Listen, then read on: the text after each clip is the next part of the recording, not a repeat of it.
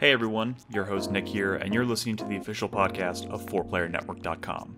First, I want to remind you that we are a fully independent podcast, quite literally just a group of friends who have met once a week since 2008 to talk about video games.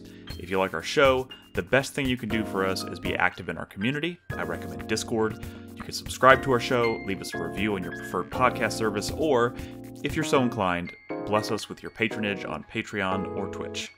If you're new, all you need to know is this. We record these shows live every Tuesday night at 8 p.m. Central on Twitch, and the audio version launches on all podcast services on Friday morning. Patreon and Twitch supporters will even get the show a day early on Thursdays. But if you want to know more about any of this, about what we do, or find all the important links you need, simply visit us at 4playernetwork.com. And that's it. This is the only ad you'll ever hear on this show. So, with that said, thank you for listening. Let's get started. Video games. We're here to talk about them. Hey everyone, welcome to Four Player Podcast 781, I believe is the episode number. It's Mm-hmm. January 30th, 2024. I'm your host, Nick Henderson, uh, joined this evening by uh, Brad Simons, Yo. talking about Fire Emblem. Uh, Crispy Hello. just had a birthday. Happy birthday, Crispy. Oh, thanks. and Christopher birthday. Davis, who didn't have a birthday. It was not my birthday, but thank you. You- You're well. You're welcome. Anyways, hey everyone, welcome. It's been two weeks since we recorded a show. Uh, if you tuned in last week, we had s- we had a pretty good time playing. Y'all missed it. We- Nolan and I had a pretty good time playing Lethal Company with some members of the community, and it was a grand old time because I feel like it's impossible to play that game and not have a grand old time. Um, so thanks to everybody who tuned in last week to play with us. But uh, but tonight we're back to business. We're here to talk about video games and everything that comes with it. Um, we're going to talk about Prince of Persia and the Lost Crown. We're going to talk about Tekken 8, and then we have um, what I would say is a exciting t- topic of discussion, followed by a not so thrilling topic of conversation.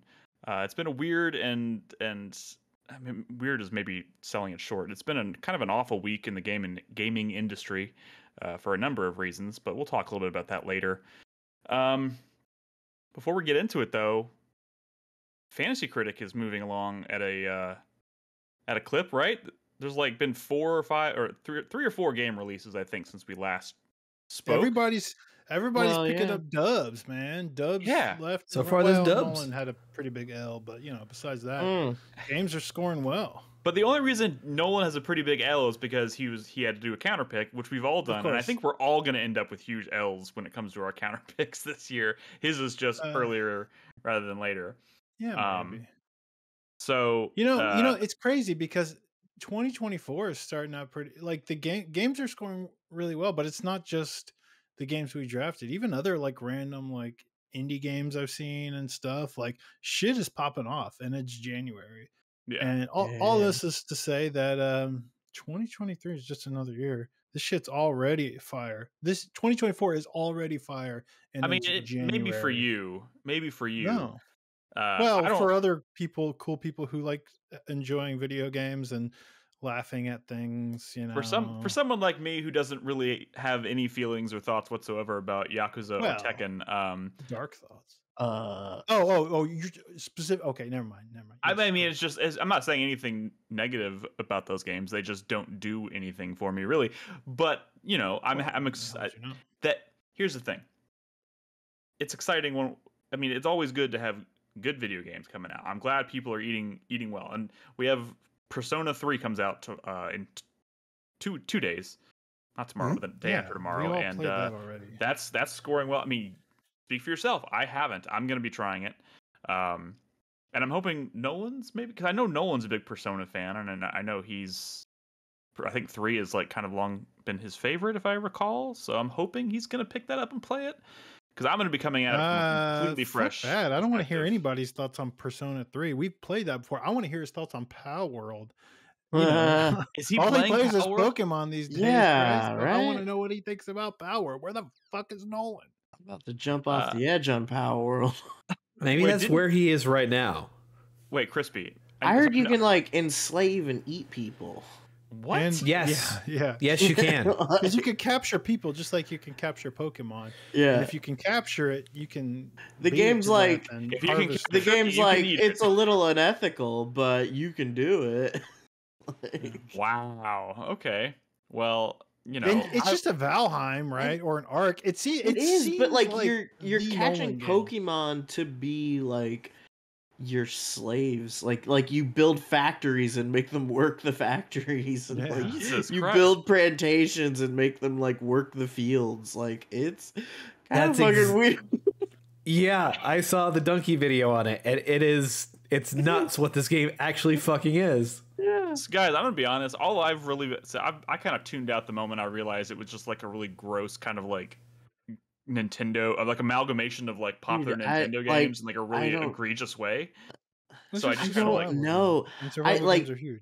there's there's a little bit of like a, a tacky quality to it for sure but like i think it's i think the concept is like i think it's stretching a little farther i think it's starting to become something that's like its own little like absurdist little thing like it's fucking weird But it is like, Yeah. I don't think it's gonna end up being a little thing because I feel like at the end of the year it's gonna probably end up being one of like it's gonna be like the Among Us yeah, of this I year mean- probably or something. no. You know what I mean? I It's mean, not- with- it's not Among Us levels. without no. commenting about the actual quality of the game i just think like the the idea of it has gone beyond like let's rip off pokemon to like Well, some like- to, to some like weird place the Like, first video I, I watched of Pal World, it was like a dude running up to a cliff, and then like it played the little like Breath of the Wild jingle. Like, oh like, you know, yeah that and then he jumped yeah. off the cliff and had a glider, and I was like, no, I'm out. This is this no is yeah I can't do this.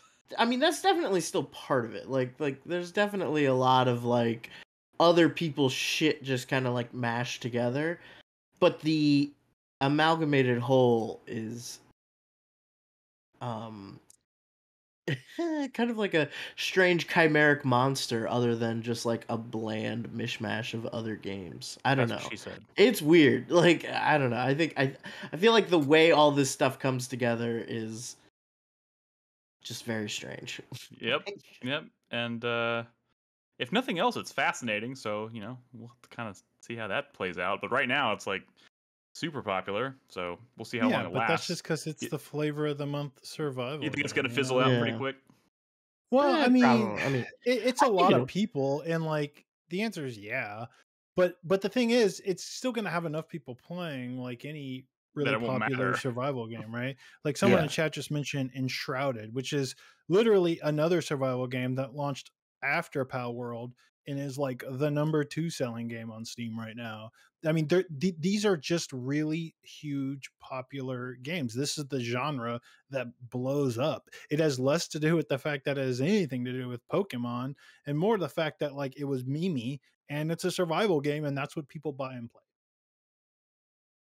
All right. And you know enough. what? Those kind of like those kind of do fizzle out, right? Those kind of don't stick in the in the The know, zeitgeist for very consciousness long? I Too don't know. long, yeah. They right? I mean, it's just kind of like, you know, Valheim was huge, right? Right when that first came out, but who's talking about Valheim anymore? It's still got a ton of people playing it, but ain't no one talking about it anymore. But it's funny. And that the was like that was like a really high quality version of of one of these. You know, by the time Valheim hits one point, like officially hits 1.0, it's not even going to be like popular anymore. Like it, it relatively speaking. it- No, you know but what it I mean? will. It just won't have the zeitgeist anymore, right? And and that's fine because it still has a lot of people. It's just less millions, right? It's just Yeah. you know. Uh, well, I mean, That's the, why the greater, like hmm. relatively speaking. You know, it's I mean, it's still gonna be popular, of course, but I mean, it's it's really a good portion of it is really about the frequency of updates and new content that come to this, these early access games, and you you got to churn that stuff out if you want to maintain that a good portion of that body that wants to play your game. I like to wait for that 1.0. I'm sitting here like watching all these people talking about Gloomwood and stuff, and I'm like, oh man, I want to play your game. Just finish it, Yeah, and then I'll play it. That's kind of how it's exactly how I felt about Baldur's Gate and, and Hades. You know, it it, it Ultra waiting kill. pays up. Waiting pays off, but you know, I get it. I totally get. It. It's it's it's a, it's definitely a like the uh the development cycle that comes with doing early access. There's obvious benefits to doing it, so it is what it is. All right. Um but also we got a little sidetracked off Fantasy Critic here. But aside from uh, uh um like Tekken 8 and and Tekken 8 and uh, Like a Dragon are both scoring. uh, They're both sitting at like a 90 right now with like Uh-huh. quite a few reviews. So those I, And bet those are doing. has reviews now. And, Persona um, 3 is sitting at an 89 last time I checked. Um, and, And Granblue is out this week as well. and the reviews for Granblue, which is the first game that'll be be on my list. Uh, that reviews come out tomorrow. It was like I think it'll be like nine o'clock or ten o'clock tomorrow. So I'm a little nervous. I'm a little nervous to see what that pulls in because that was a bit of a hail Uh. mary for me. Um, but I'm Yo, taking a you know what the word it. on the street is?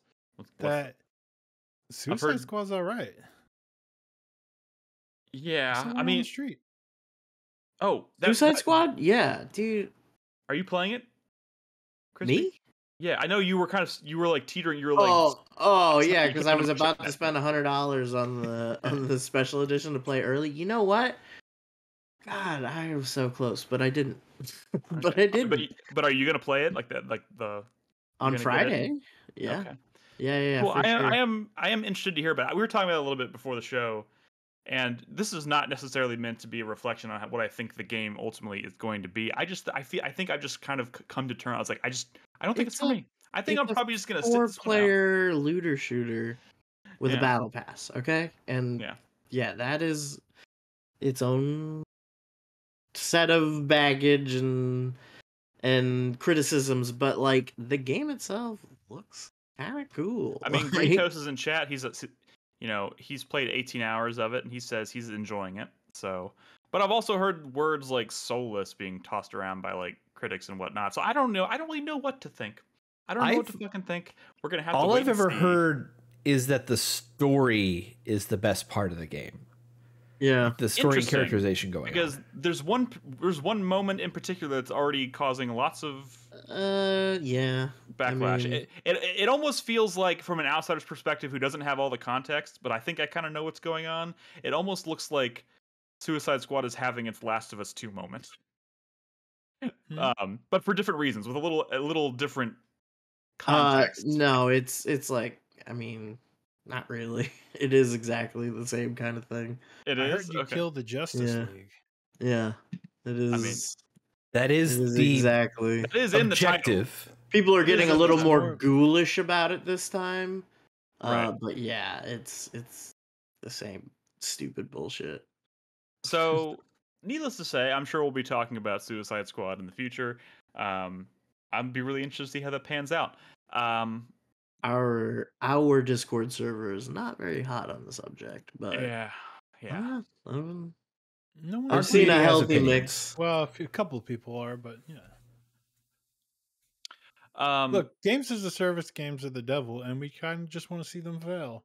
I mean, that's why everyone. regardless, yeah, I mean that is that true. Like that is true, regardless of like the actual game itself. I mean, There's like five major is some games of as that service going on. titles coming out in February. yeah. it's pretty wild. Um, you know, I just realized I haven't checked this week because I know. So, has there been any bids? I- like in the last yeah, week? someone picked up a game. Oh fuck! What is? What was it? I think Ed picked up. um Let me see. I have it open right here. Me too. Full action history. Uh, Genesis Games picked up uh, Pacific Drive. Oh, that's wait.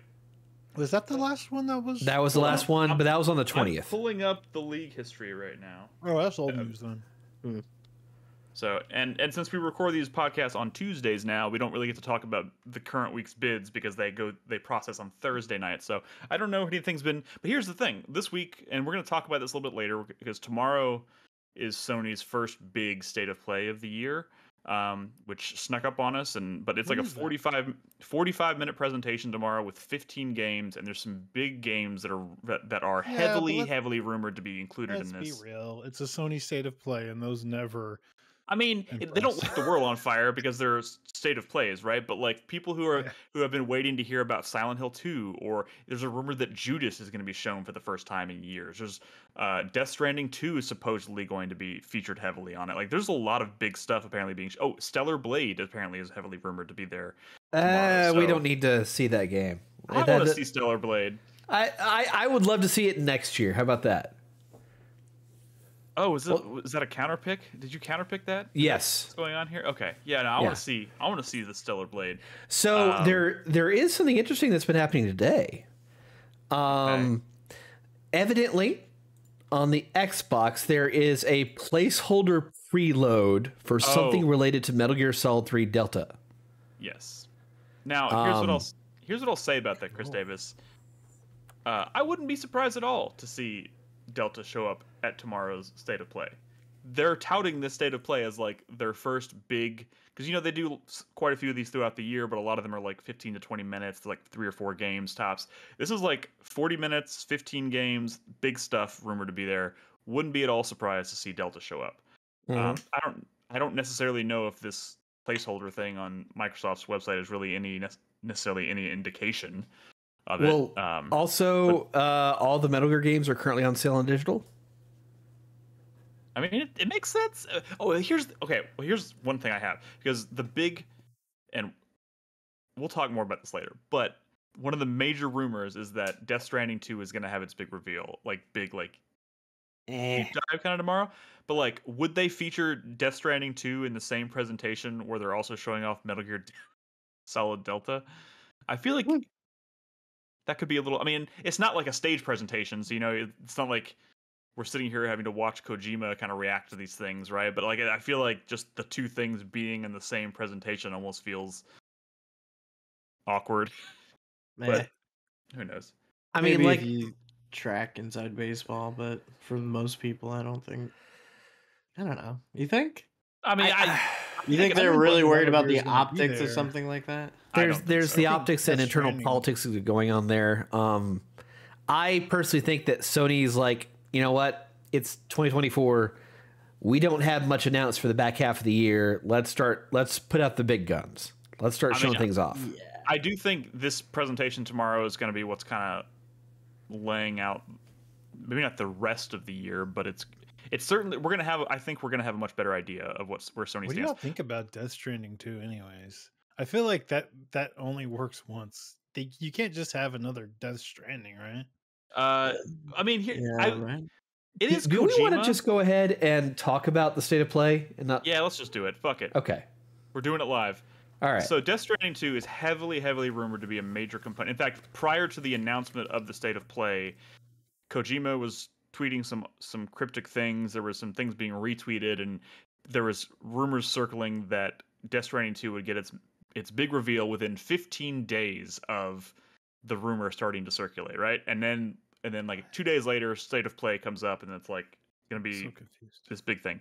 So They already announced Death Stranding 2. Right? yeah, I mean they announced it, but it was more of like a cinematic thing. Like we don't really Okay. know anything about it. Like Are there going to be guns in this one? You think?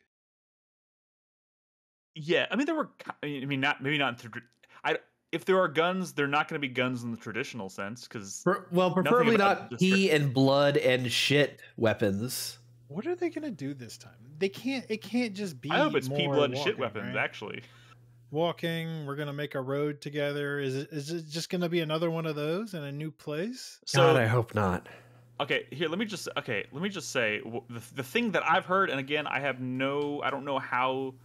Uh, this might just me sp- might be me spreading rumors unnecessarily, but the rumor that's circulating is that the game is titled Death Stranding 2 on the beach or something along those lines. Yeah. the beach. On Yeah. the beach. That's Uh, so right near the beach. You think it's gonna? Oh, there's gonna be like ocean traversal, maybe. Maybe. Maybe we're trying to build a kinda cool. bridge across an ocean. Oh, Don't they Maybe like? we're trying It's to. a- like it's a boat game. I never oh. played that first one, but I feel Oh, like you shit. can't. There's You no did? didn't It was all about, hey, we're building a road together, y'all. You know, you, you can't have that. ag- Well, Sure, Brad, Gotta- I it's got to be something. There's got to be some kind of thematic evolution to it, right? It's not just Yeah. more of the same. I mean, it- here's it- No, here's, I mean it's got to be more than thematic, though, right? Because like, think about all the Metal Gear Solid games; they're so different, right? Like, he never just made another one of those. They were all like dramatically, like I have Well, I no. mean, that's kinda what I I have have violently faith- different. I have faith that whatever Death Stranding 2 is, it's going to look and be dramatically different than Death Stranding 1, while also being just as bonkers crazy and Yeah, be obtuse. crazy. um, which That's I mean, I'm here for. gun. And And there's gonna be a lot of cool gadgets and stuff, right? That's, I think they're going to up their ante on the gadgets. I, th- I think they're going to double down on trying to make the world feel. Because you know, throughout Death Stranding one, the world felt very isolated and very lonely, which I, I think was very intentional. But the whole thing is about trying to build up those connections, right? So in a sequel, I feel like it would make sense to try and show the player the impact they're having on society by trying to make the world feel like it's growing and like you know people becoming you know, you know what i mean The, I mean, the thing is that the entire first game was about building out infrastructure to reconnect North America. And so, like, if you're going to do a direct sequel, you have to show the consequences of those actions from that game. So you would have to show the country slowly rebuilding itself and people come coming back together instead of being in isolated communities. Um, and how does how do the people of that world live uh like especially as like society starts to build like how do they live in without you, in harmony with like the weird shit in that game if you know what i'm talking about like there's a reason Yeah. people lived underground in bunkers in death stranding 1 and building roads between them i don't think is necessarily going to solve that problem so maybe it's a maybe it's a game about solving the other problems that were introduced in that first game whatever it is i have faith that this is not just going to be another death stranding i think it's going I- to be something I think the big, big perk of this game is going to be uh, a reworking of the combat. Um, based on the director's cut content that came out a couple years ago, um, in which it was very much an homage to fucking Metal Gear. Um, they're, I think they're really going to rework it into a stronger uh, tactics and combat experience. I think they'll. God, I hope that they they de-emphasize the delivery don't aspect do it of the game. that's the whole game Well, then then it it should not be that. It should not be that. Davis, this just sounds like you are coming from a place of like, hey, that game was not for me, so maybe that's okay. Do you Look, I'm, Jeff I'm just Keighley saying in the first game? infrastructure. Okay, the infrastructure thing I liked. I 100% support that aspect of the game. It's just that the core gameplay loop of Death Stranding was taking packages and delivering them to places. Like You know what? I, while building out the infrastructure, and that's the more important thing. I'm just saying, de-emphasize that. Let that be an aspect, but let it be a much smaller thing. Pick up the combat and, and build off the story. You know, being more uh, focused on the consequences of your actions from the first game. That, and then I think you got a pretty good sequel. I think Orca's You right. want Chris, lore and shooting. That's what Chris- you want. Chris Come Davis on, hates man. mailmen. We're trying to feel things over here, Chris Davis. look, look, I don't think you have anything to worry about because I think if anything, this is just going to be wildly different. Also, don't- maybe don't let Kojima name characters. Just Okay. kind of No, take the pin No, away from him. You're a, No, you're you a, it you're a be crazy boring? person. Come. Yeah, you just don't like Kojima. I'm Yeah. s- I- That sounds like a- I mean that it, that is kind of true. I have soured on Kojima over, over the years, but like Die You're also please. You're also you're also over here like on. being super excited. You're over here being super Chris excited for look Metal Gear Solid. Delta, which is in, which is also from the mind Yeah. of, of like Hideo the dude's name is Solid Snake, and you're like, he's got he, he names things badly now. Back then, it was so good. well, back then he was a fucking auteur that was creating incredible things. And by the way, Solid Snake was not his fucking name. His name was David. Oh, for fuck's Wow. sake, dude. Yeah, Come on. he- he- like he, Like every- people stole had the name from the names in these games. Light. Games. He's Yeah. just Die Hardman is just Die. Hardman. He doesn't have another name. Yeah, that's Uh, sick. I, that's one- actually a good name. everyone's like always like, oh, he just loves Hollywood now. It's all about his his celebrity buddies. Like, they, that's literally David Hayter was in some like fucking superhero movie he loved. Like, why do you think he was even probably cast in the first fucking place? It's so, it's Uh, so. I mean, Big he does Wazoo have a fairly distinct voice. Big Wazoo says, "Don't disrespect Hot Cold Man." I'm saying Kojima's always been on the same bullshit. He's always been on the same bullshit, and it's no different now. I- now you're like, mm, I'm grown up, and and and Die Hardman is not cool enough anymore. Like, what are you saying? Uh, I, you know, I'm just saying if there's one if there's one creator out there who I don't want to take seriously and be like everyone else, it's Kojima. Uh, you know me. I'm I'm kind of the I, I tend to be the old fuddy duddy here who I like, you know, I like more grounded things. I like darker stories. You know, I, I tend to shy away from like some of the things that I know y'all love. You know, we're you know, and just be just like just whatever try not reason, to say something I'm- too racist here, uh, Nick. What- oh, what oh, uh, okay. I've got something that everyone can agree with. shut up. Okay. Add more systems to the game. Do not have the BTs be static areas.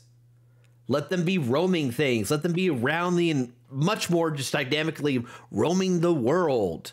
Well, first of all, sure, okay, I'll give you that. Brad has no idea what you're talking about.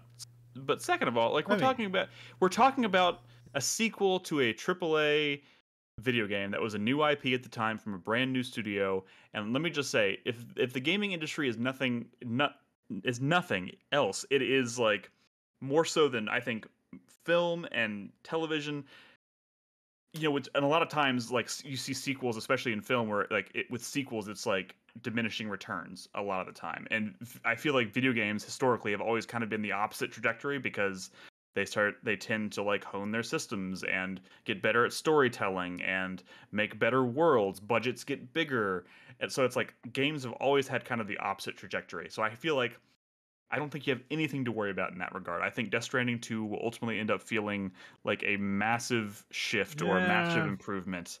It's funny you say Uh, that because literally last podcast we were talking about how Hellblade's a fifty dollar game that's also going to be eight hours again. You know, it, everyone expected the sequel to be bigger, better, and more badass, right?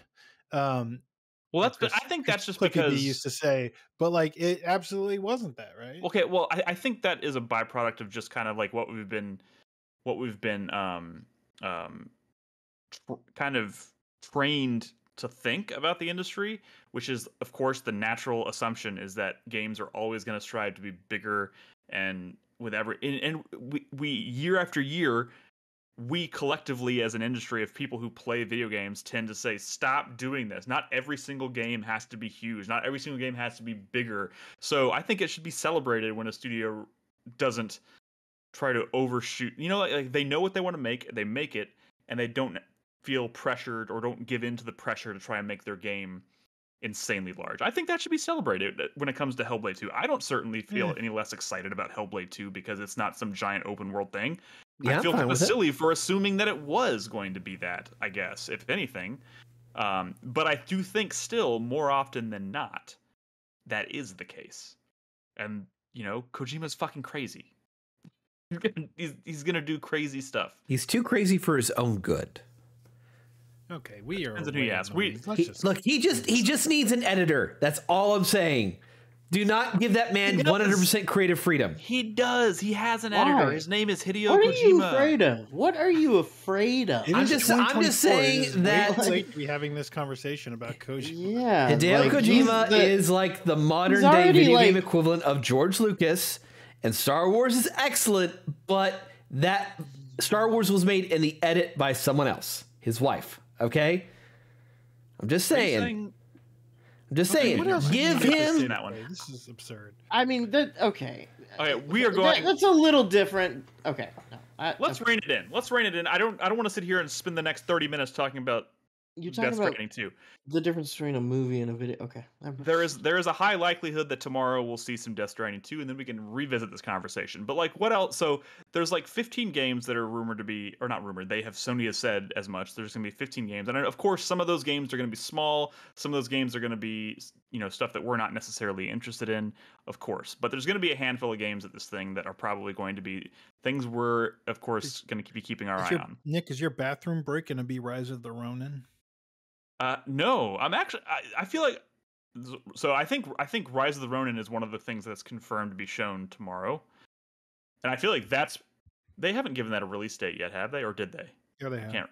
Okay, they did. Oh yeah, it's like Well, August I or guess it, I guess Yeah. it's not on your little pre-order spreadsheet. no, it's on it's on my it's on my fucking spreadsheet, bro. I don't have I that know, you've been up. talking shit since the beginning. I know you. I've been- I've been Mm. No, listening. no, no, no, Nick. no. I think you misunderstand. There's, I feel there's a lot of people, especially in our Discord, who are getting really negative about Rise of the Ronin, and What? Yeah, this, It's I mean, you, right? Who in our Discord has been negative? I didn't. I've ne- I don't think I've ever had anything ex- Quote, expressly negative. Literally, last about- time we saw it, you said this shit looks like a PS3 game.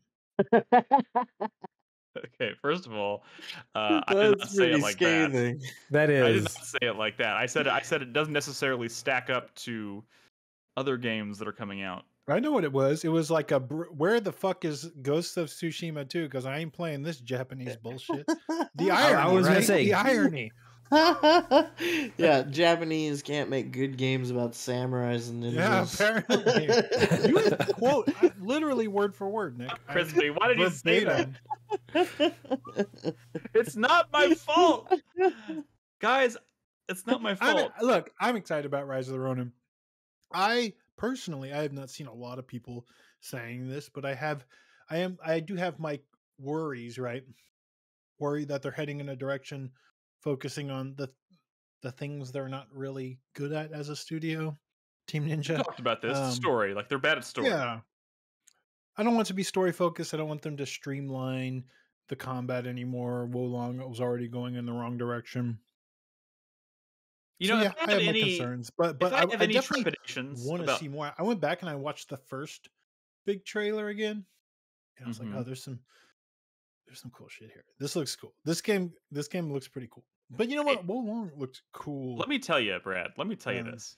Um, if I have any trepidations about Rise of the Ronin, I think it stems more from the fact um, that I know that somewhere along the line I kind of fell off of being interested in playing Wo Long, and I just never touched it. I just, I literally, I played the demo, and Nioh lo- too.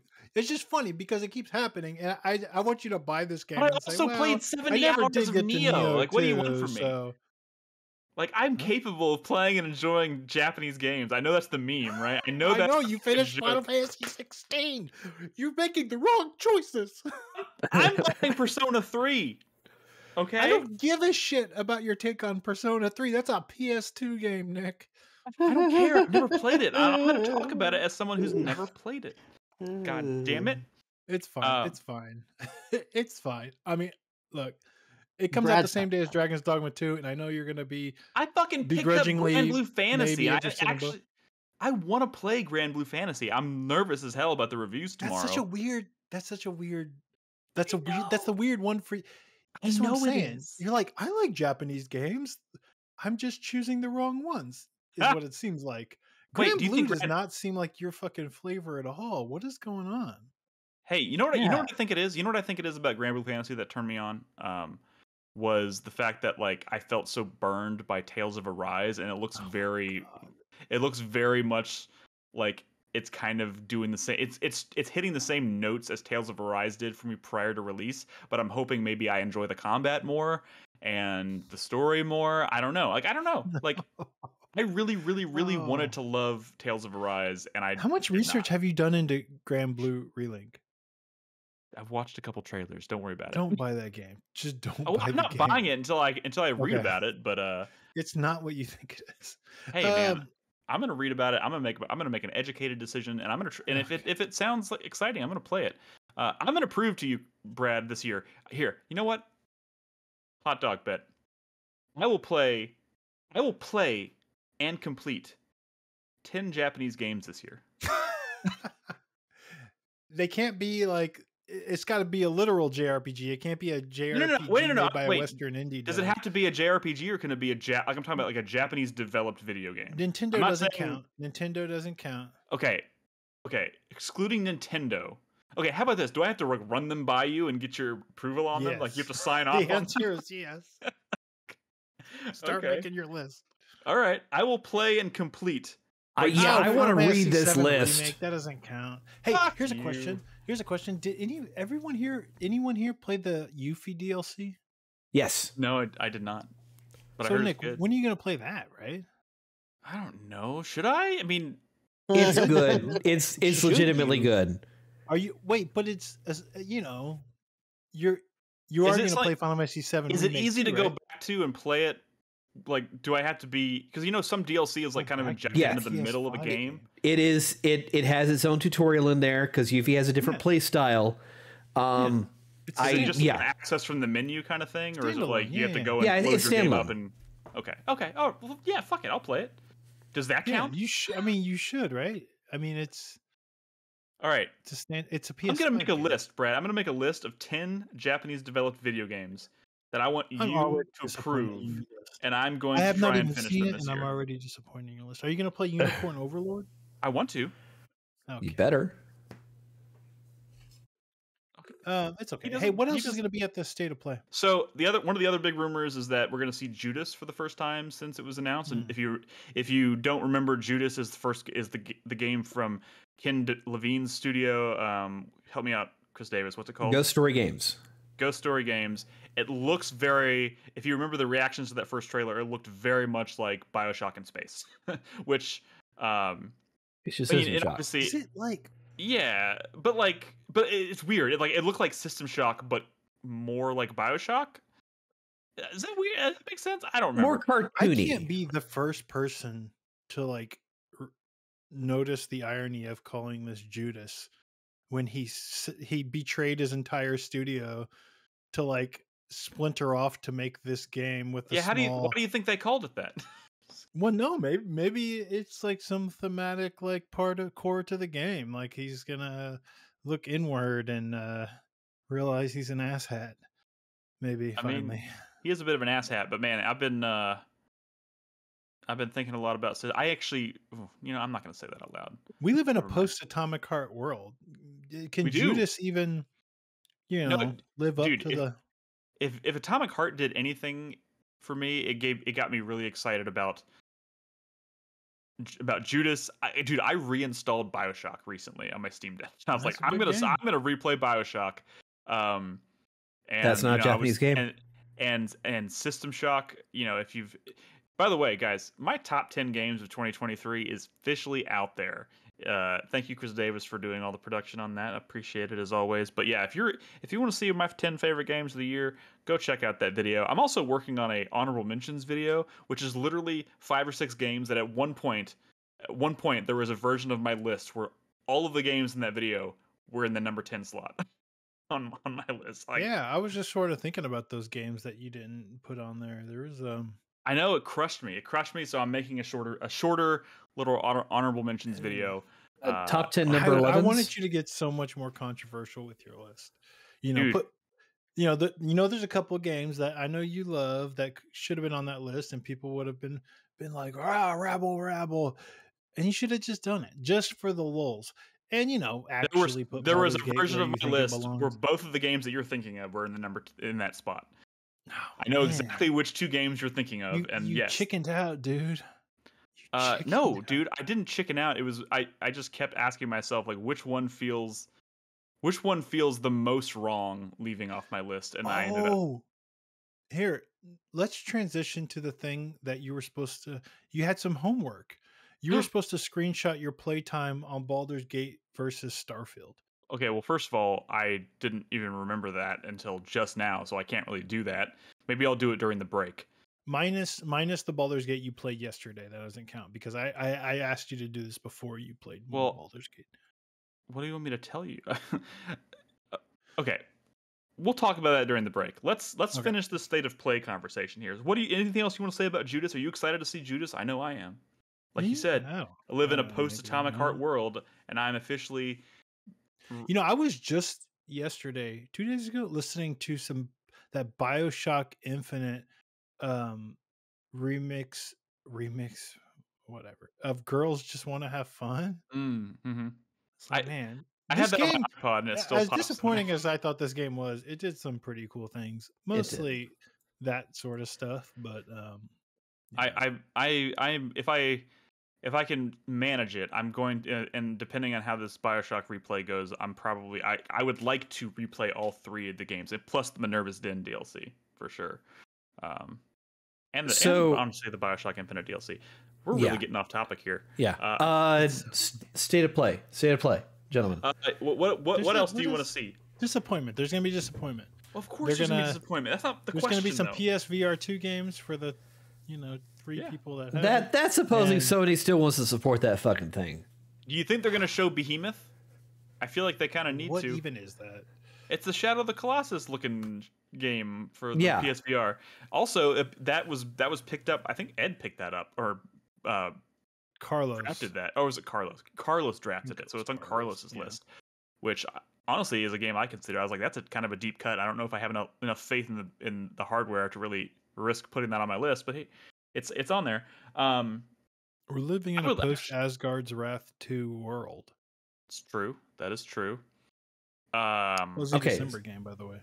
So By the way, out of I- left, re- sorry, real quick before you finish that sentence, Chris Davis, I just want to Sterling Sky in chat. I just want to clarify in case anybody else misheard me. I did not say I was going to play 10 JRPGs. That's insane. I'm not blah, okay? I said I was going to play Can I 10 answer this question for? Japanese Can I answer this developed question for games. I want to answer the question.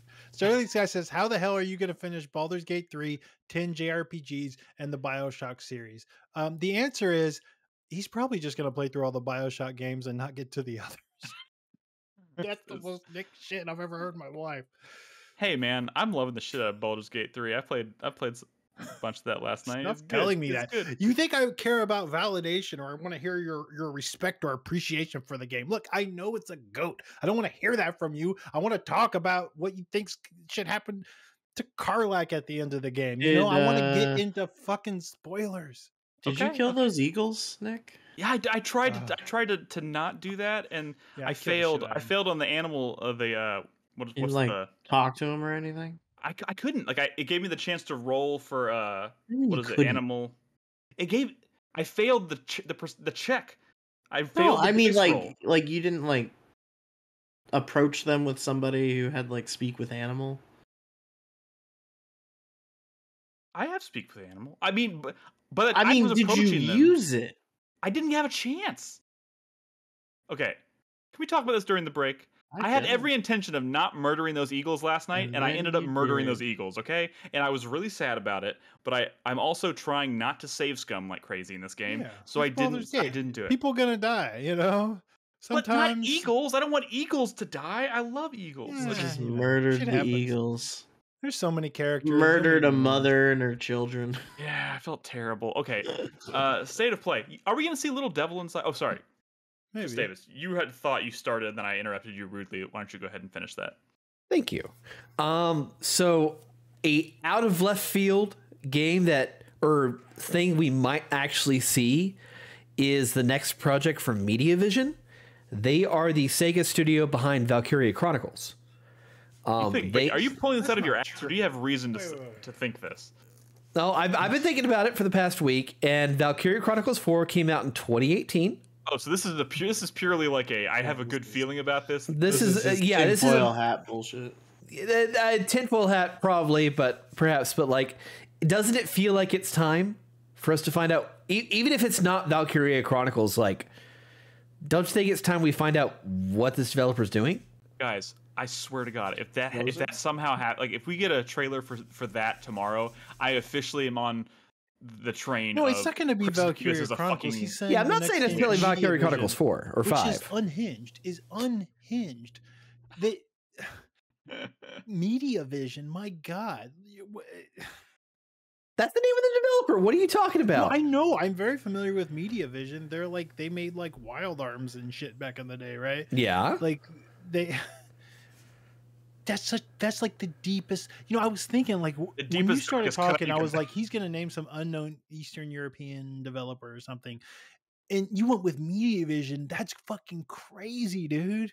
Who knows what they're doing? Like, do they even still exist anymore? That's the real question. that's kind of the I, I hate to say it like this but my assumption was the answer to that question is no so i don't Well, the, I mean, the other possibility I think is that they may be contributing to the uh, the set of uh, Sega remakes that are happening right now, of which there are supposed to be rumored several more that have not been announced.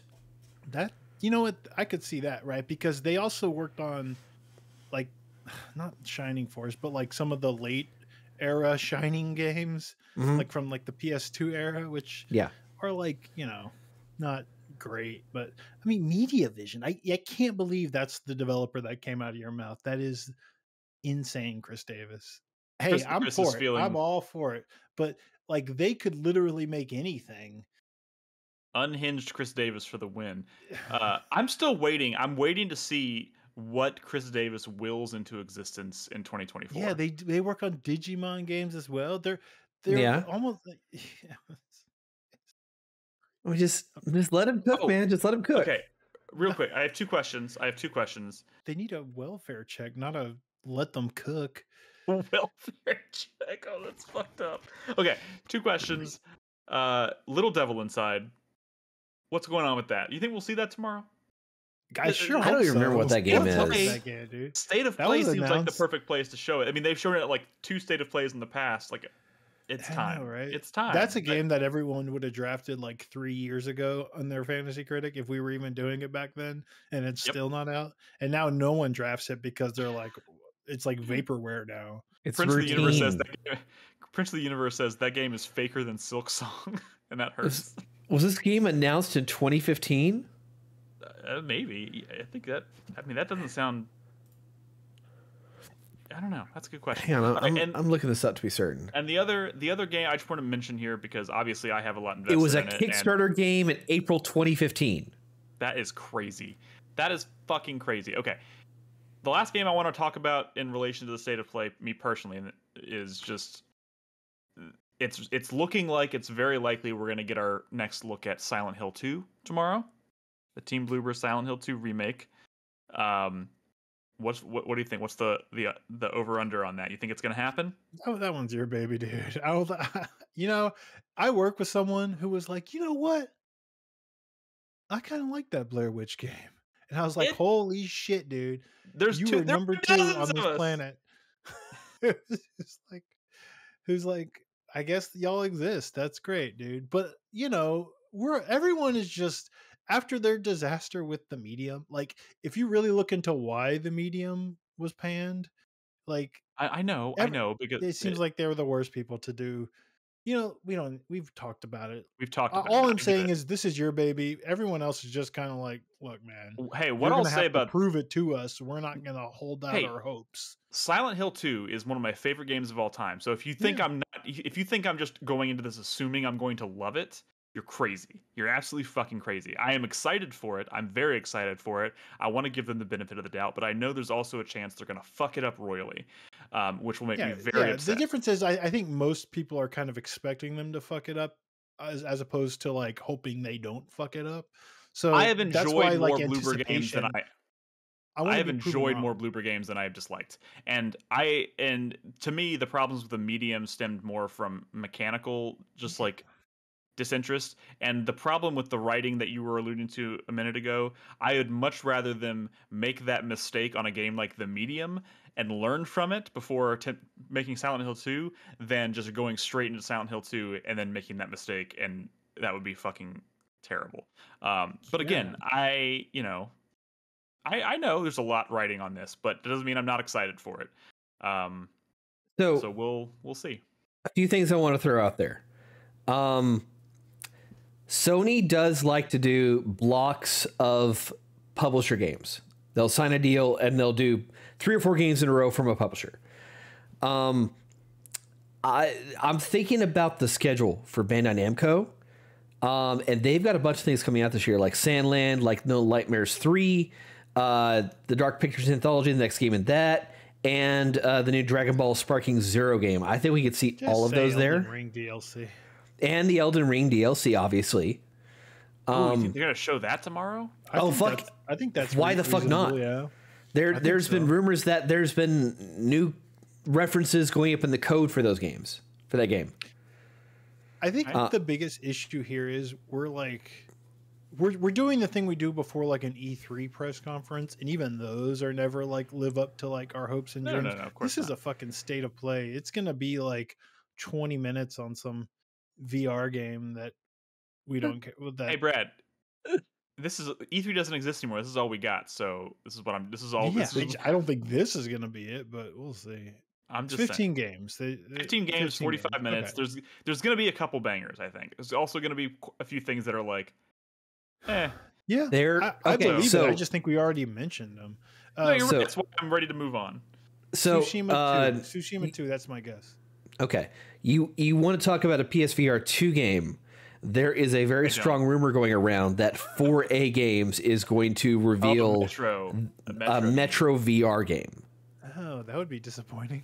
That would be disappointing, but It's this so- is a smaller project in uh, in line with another major project that's in development.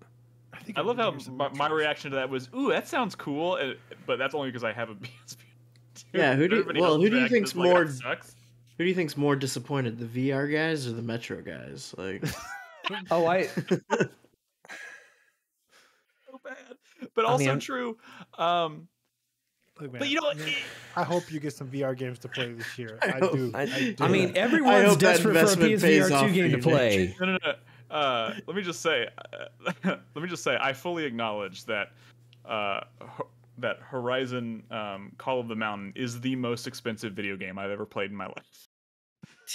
yeah, right. That's That's Well, not the most expensive game I've ever played. into the Resident Evil so wild. Dude, I, I it, it's it's just a matter like it's a matter of finding the time for it. I, I reinstalled Resident Evil 4 because I do I, I want to play that in VR. But again, where the I'll just go ahead and squeeze that in with the other with the 10 JRPGs, the BioShock series, Baldur's Gate 3, and that's not even counting all the all the other games I'm playing at the same time. Should play okay. those on VR.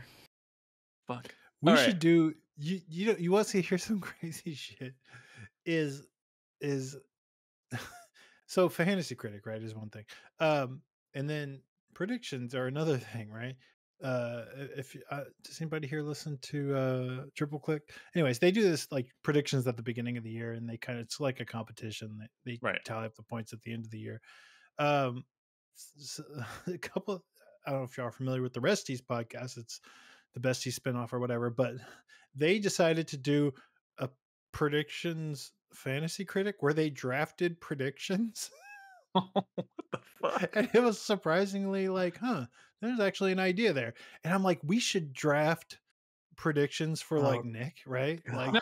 he's gonna finish Bioshock and all the DLC, but not even get to Act Three in Baldur's Gate will be like a top pick. You know, What what's gonna be like his nostalgic vacation game for a mm. month? But the also- Metro also- series, he's gonna replay the whole Metro. Gonna, yeah, and then he's gonna be tweeting stuff like, "Man, I really didn't give this series enough attention when it came know- out, but but I haven't gone back and played it. This is truly a gem. Like, what Hey, a great Yeah. First of all, Nick, fuck can you just go Second ahead and of do all- that just for me?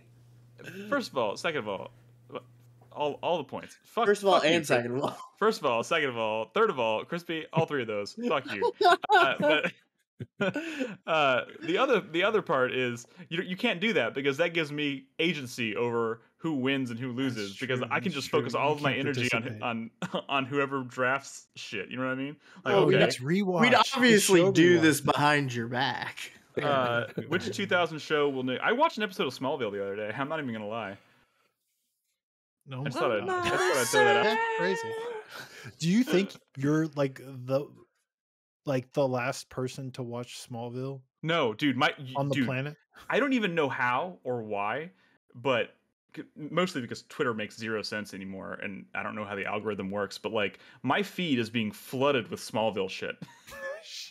You're People tweeting- feed, Pe- no, man. What? if, eh, no, no, no, no. If if y'all have been on Twitter lately, uh, Yeah. the the the new thing is like the new meme is like, hey, who's got that clip, right? And they're just like, who's got the sitcom clip? And everyone's just posting clips from their favorite sitcoms or whatever. And then all of a sudden, I start seeing, hey, who's got that Smallville clip? And now my feed is just being flooded with clips from Smallville. Oh and I was like, oh no! That's And then I went and watched, and then I went and watched an episode. of Smallville. Allison Mack, lots of Allison Mack clips. Oh Oh god, God. it's hard. To, oh god, Ah. yeah, that's rough. No, I am probably gonna do a Buffy rewatch. this What's year, though. Kristin Kreuk doing these days? Nothing. Oh, No, actually, I take that back. What? She showed up in in in the first season of Reacher. Oh my Oh, there you go. Reacher. Mhm. Yeah. That show's pretty. fun. Starring Alan Ritchson. That Yep. big dude. Yep. That big dude big- everybody he's. That, big that big man. That big man, Big yeah. man. I really like the first season. The second season, I'm I'm enjoying, but it's. eh, I'm not sure. I I'm want him sure. to be in a um God, maybe he already has been. Jesus. A Fast and the Furious. No, he hasn't um, been. Movie where he fights Vin Diesel because Wait, what's the difference Diesel's between always that, got- watching that and watching The Rock fight Vin Diesel? It's like, the- Well, The Rock is like appropriately sized. Vin Diesel is just like, you know, you know, he he's always acting above his weight class. Punching- Acting. punching up, like punching, above his weight class. literally punching up. That's You funny. know, Um, It was it was silly watching him fight The Rock. Like it was absurd. yeah, it kind of was.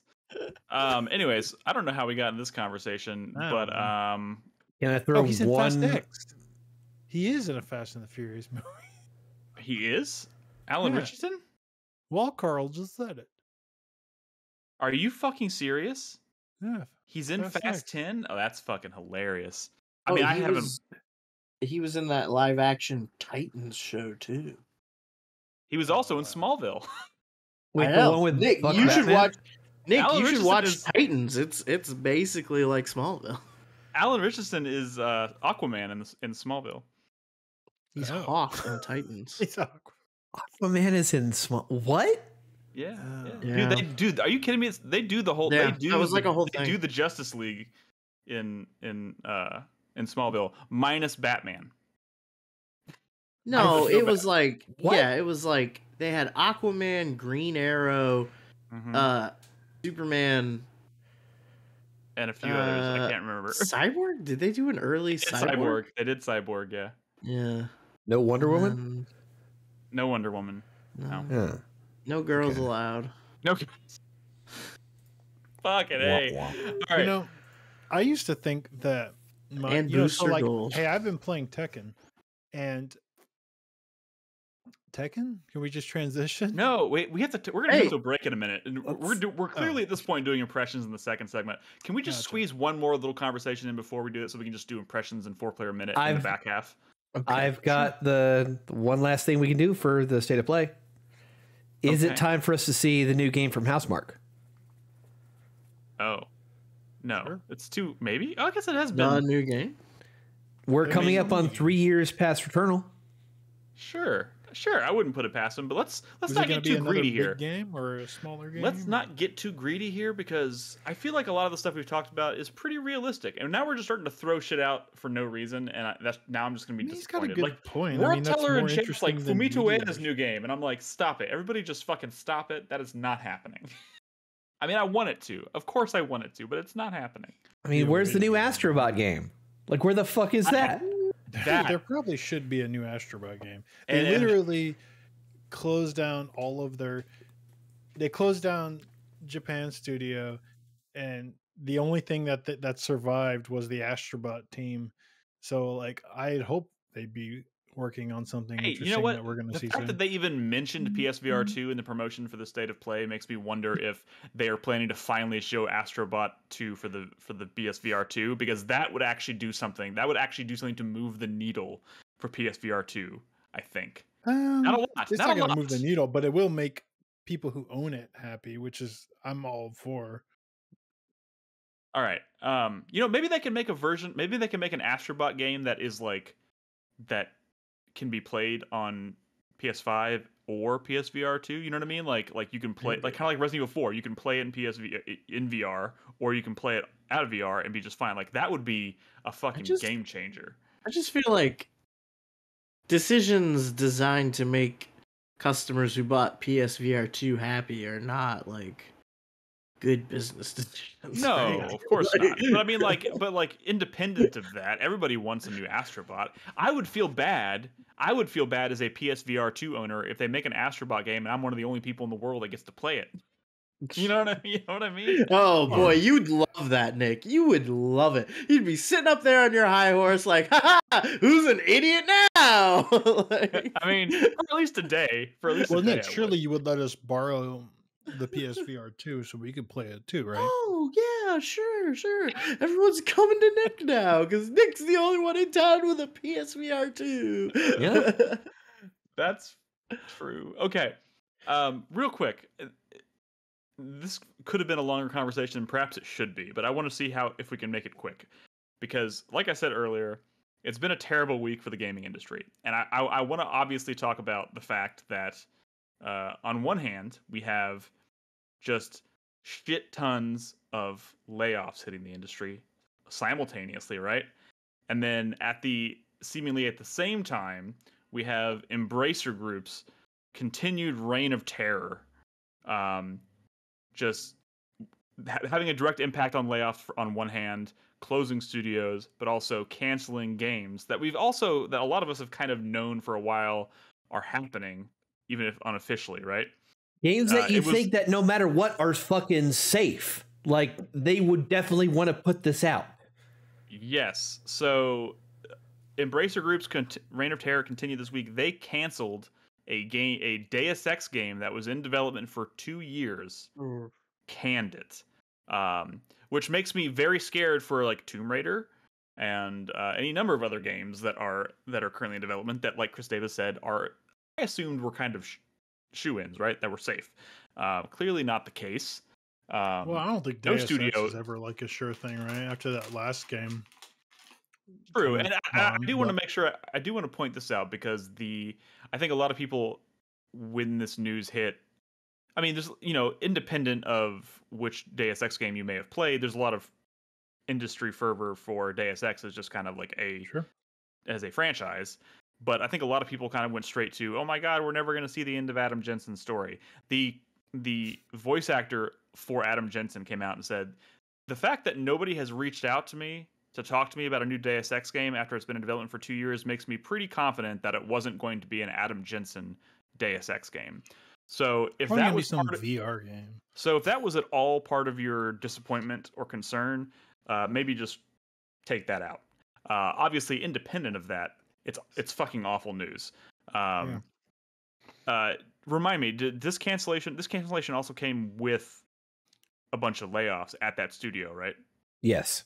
Yeah, so a bunch of Hmm. people at the studio were laid off. I'm, and the the main project they were working on obviously canceled now. It makes me wonder, like, if you're gonna cancel the main project in a studio in a game like Deus Ex and lay off a bunch of people and leave only a fraction of the of the team in place, like, what the fuck? What what do you, what do you even accomplish doing that? And I guess unless they're gonna shift them towards other projects to like help co-develop other projects, maybe. Yeah, what do you mean? I mean, Embracer just has they didn't get their Saudi money and now they can't afford to do anything. So that's I why mean, all it makes me it makes me wonder. I mean, it makes me it makes me wonder like if Deus Ex Deus, Deus Ex isn't safe. I'm like I'm wondering what. I think the only things that are safe are games that are already in the release pipeline and due to come out in the next six months. Anything else, I think, is in danger, and that's Yeah, frightening. No. Uh, they axed TimeSplitters and the de- and and we talked about that already. That happened a while ago, didn't it? That happened a Yeah. That that TimeSplitters project, from what they were describing, Still sounds like disappointing. very Oh, yeah, disappointing. Of course, obviously, very disappointing. I mean, obviously, and there were layout. I mean, this is independent of Embracer, but you want to talk about disappointing too. There was a fuck ton of layoffs at Activision Blizzard uh, this week as well. There was a Yeah. And, uh, 1900. Brutal ones. No, 1900 After- After they, yeah, after they were all like, this uh Microsoft acquisition isn't going to lead to layoffs, and then boom, Yep. they're there. Well, lies. the whole conversation is about Embracer and Microsoft, which let me tell you, mergers and acquisitions do not lead to uh, yeah, you know people keeping jobs, and you sh- usually Sustainability or whatever. fucking awful. Um, it's it's fucking terrible. Also, I'm gonna be honest. As someone who doesn't really follow League of Legends in any significant way, I was really surprised by the number of people laid off at At Riot. Riot, yeah, Dude, they were like, we la- like the the That headline I was saw. was- wild. The, the like the headline I saw was like, we've laid off. I forgot what the exact number was, but it's like we've laid off. 10% of our work of our workforce I was like oh shit 10% like how many is that like 50 people it was like Oh, 1500 people yeah, right. I was huge, and like- they they worked on much more than just League of Legends. I know. I know, I know, I know. So, I Over mean, 500 employees. I'm just saying, as someone who doesn't follow Riot, is not is like I don't play League of Legends. I don't. I have never really played anything that Riot has done. I don't pay a lot of attention to that studio, and I knew they were big. I obviously know they're a huge studio, but like, no, even knowing that, I was not prepared for that number. I was like, how the fuck do you lay off that many people, and it's still only like ten It's percent? it's 11 percent of their company, and it's Okay. 500 530 employees. That's Yeah. okay. So I got the numbers wrong a little bit, but still, like that's crazy. That's Yeah. fucking nuts. Um, because like to me, a huge studio is like And they sound- to me like, like 500 people sounds like a huge studio. I know that in these days that's probably not the standard anymore, but uh, I was just I was just like, God damn. So, yeah, it's been a really is this new? terrible, shitty week. Sega of America is laying off um, 61 employees effective March 8th. Yeah, Just, I'm just at, looking at at their the at their HQ specifically. Hmm. Hmm. It's just so shitty because like no one at the top ever fucking, you know. yeah. I- I mean, obviously It's laid this- off. No, they. Yeah, they- yeah. No. It's it's just it's like wonderful severance packages, golden Ah. parachutes. Yeah, yeah, yeah. No, no, no. Yeah. Uh, uh, capitalism, right? Yep, it's fucking awful. How do you make art in an environment like this? I You don't know, but like You don't. It's it's one of those situations, especially with the embracer thing. That's like shit's obviously going to get worse before it gets better. Um, and it's like it's it's fucking awful to think about, but it's like what it, it's like we all we can really do at this point is just sit back and just watch this dumpster fire fizzle out, and who knows how many people are going to lose their job before things start, you know, evening out and getting better. Like, I mean, and getting better is even a relative term. Like, what the fuck does that even mean? Um, I don't know. I just feel like it's it's gonna be the beginning of 2024 is gonna is dark times for the industry, and I I hope I hope we can start to see things change a little bit in the not too distant future. But I mean, the the unfortunate thing, the unfortunate fact is that a lot of these people got hired on at the beginning of the pandemic mm-hmm. when people were staying home. They had the income oh. and they wanted to spend it on something. And so a lot of them spent it on video games. So developers and publishers saw an opportunity, they built up their teams, and then when the sales returns from their games that they spent years developing just weren't there, They'd rather just fucking call people than just continue on and try to make something smaller, more profitable. But you know, the worst thing I saw, and you know, obviously following a lot of people on social media that work in the industry and stuff, and just seeing the number of people who were like, perhaps the worst thing about this, and this is not just a one off, I saw several people talking about similar situations. They're like, I moved like less than six months ago, I moved my entire family across the country Yeah. To work because they because the company did not want to let people work from home anymore Yeah. and they moved their their their families across the country, started their job, and within six months they were laid off. And I'm like, I can't even fathom how fucked up that is. Like, it's just one of those things. Like, the post-pandemic world is now is is a world in which people in a lot of industries can work from home, and I feel like until the industry gets on board with that, like this shit's just gonna be I know. uh, shit so anyways anyways i think you know there's not a whole lot we can say that's going to like add anything to this conversation so we can move on. I just wanted to acknowledge it because it's been a terrible week in that sense. So let's take a quick break. When we come back we'll shift gears a little bit and talk about the games we are playing including prince of persia the lost crown and tekken 8 and then of course we'll wrap up with the, with the four player minute. So if you're watching us live don't go anywhere. We'll be right back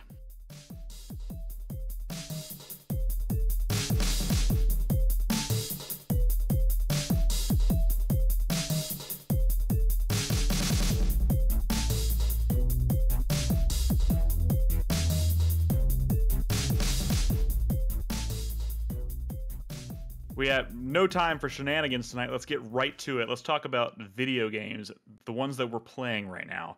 Let's God. start with Prince of Persia, The Lost Crown.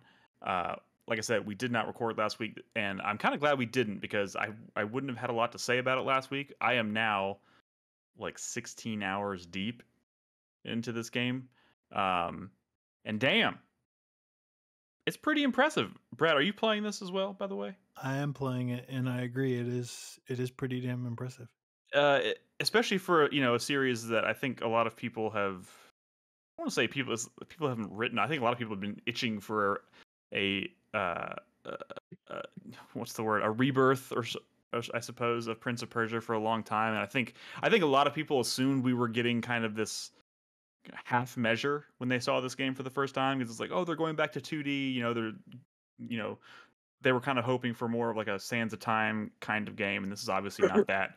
Um, but what Not we ended up, game. sure. I, you know, I, I, I think a lot of, I think we are pretty good at recognizing the value in a game like this, obviously, but I don't think that's necessarily the, uh, the the the general reaction from people who play games as a whole. But like the the reception of this has been pretty phenomenal, and um, yeah, because it's fucking good. Like if it wasn't It fucking sick. good, then it'd be kind of a bummer. But it's Yeah. fucking good. What, what it does that it- mean? No, but I'm saying like if, if it was just like a blasphemous two, like oh, Oh, this pretty good. Whoa. Whoa. Let's- No, okay, okay. That was a low blow. That was a low blow. But what I'm saying is like if it was if it I'm saying like if it was like kind of where asshole. most Metroid indie. Metroid we get like dozens of indie Sure. Metroidvanias every fucking year. And if it was just like a Prince of Persia game, but also just kind of an you know, an 81 feeling Yeah. you know what I'm saying? Like, oh, Yeah, like a- Blasphemous 2 or a Metroidvania light kind of thing. Yeah, you know what I'm saying. But like, no, this is this is meaty and it is fucking good. Like it mm-hmm. plays really good. Like combat's It good, looks sick. platforming's good, progression is good. Like this is a good ass video game. And if it was just kind of like okay, it would be a bummer, right? Because Prince of Persia has been gone for a long time and you know, Can I ask God a damn it, question right? about that? but like this is I mean, it's fucking good. It, And so that's here- here's the thing. It is fucking good. Sorry, go ahead, Crispy. What were you gonna ask? Oh, I, I was gonna. I I remember Brad the other day talking about something in Discord. I don't remember if it was this though. Oh. Was this was this the one you were Oh. saying was kind of boring? Oh Jesus Christ! was I played that? ten minutes of that demo, and people Oh, seem to think that's that what it was. They, they really latched That's onto that. Like, like I was. I just remember that being a big discussion. I wasn't. I wasn't. No, it wasn't. It trying wasn't a to big take a- discussion. It was. It was something I said, and then people really latched on to it. I will say this in Um, relation let- to that. Ha- Any demo's slightly boring to me because it's not a fucking video game. I can keep playing. sure. Sure. but also like um, six, let me tell you, at the start of this game, there's a lot of talking, and I was also bored at the start of this game, um, just as I was in that fucking demo. But then I kept playing and playing and playing, and as a Is- video game, it's so fucking this- good. Is I the think- story stuff kind of lame. No, actually, it's not it's bad. okay. Uh, It's and I, th- I think it's getting more. Definitely I don't- weak, weak point.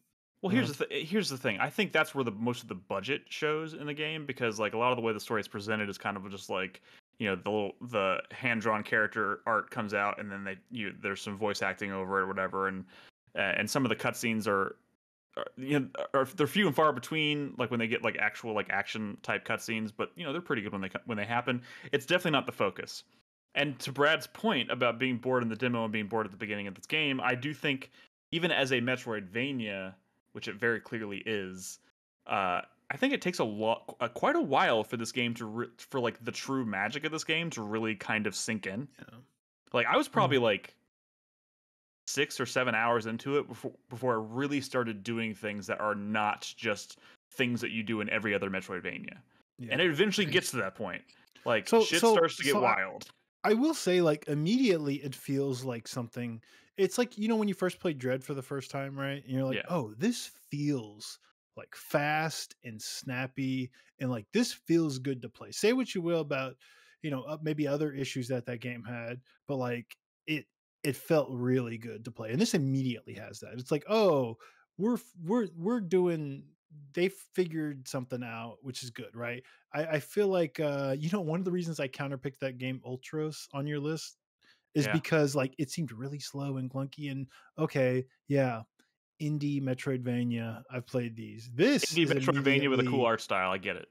Yeah, like like it, it, and it's the I think I think it's something we really take for granted, but like really good, quick, responsive controls, like really getting the speed right in a game can like make things feel so different. I noticed it when I played like a little bit of Chained Echoes. Like so many indie JRPGs are just like Sluggish. clunky and slow, and like Chained Echoes fucking moved. When you hit that stick, it moved, and I'm like, we take that shit for granted too much. It is like a, a really amazing thing. And here, this is the kind of shit that this game really gets right. And and then it extends like, and that's just basic movement. But then you do more of the combat and you do more of the platforming, and you're like, okay, like this this shit matters. And and I'm seeing it in all aspects of this game now.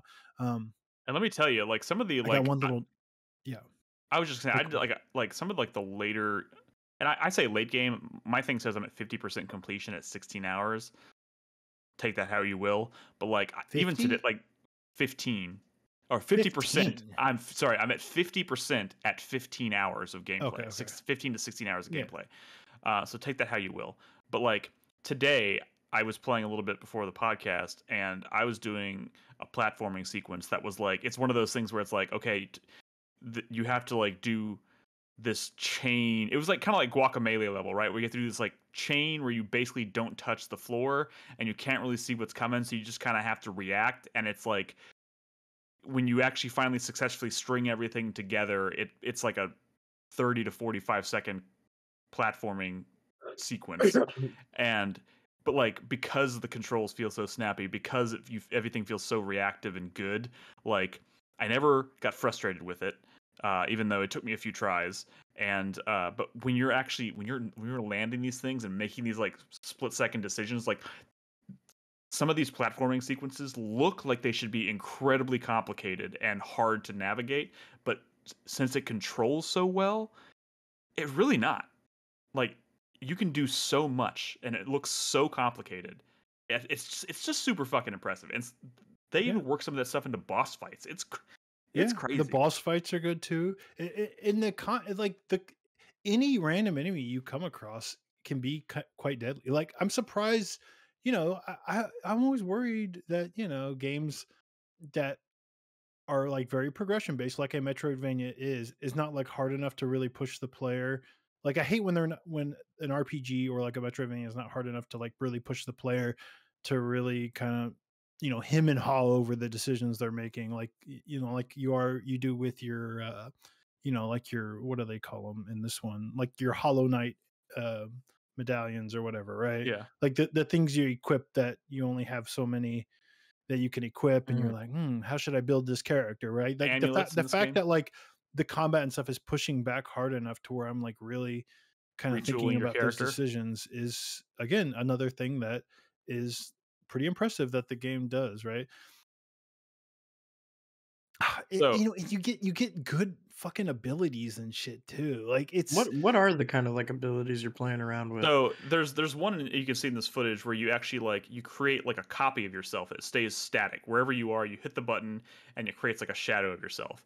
And then the next time you tap the shoulder button, it'll suck you to that point. So like and you'll go through objects. So like Yeah. like there'll be like a th- in this in the footage you're watching. There's this like chain. There's this like spiked block that goes left to right, and you're Yeah. Eh, so as it goes left, you run towards it, and then you create the copy of yourself, and then run back, and then as soon as it comes back towards you, once it passes over that that copy, you tap the shoulder button, and then it sucks you to it, and suddenly you're on the other side of it, and you can run. I hope that kind of makes sense, but you can use that in combat in really interesting ways. Like in fact, some boss fights force you to like you like there's there's really no way to do- like you have to use that to dodge certain attacks.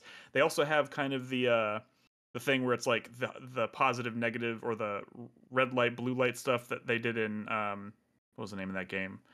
There was a Metroidvania a long time ago that I really liked that that where you like had to tap a Housemarque button. game uh, Outla- Outland. Outlast or Outland, yeah, Outland, where it's like you tap the button and all the blue blocks turn red or whatever, but you can only jump on the blue block blocks. So you have Mhm. to like in midair, you have to swap out Switch the colors and yeah. switch them and stuff.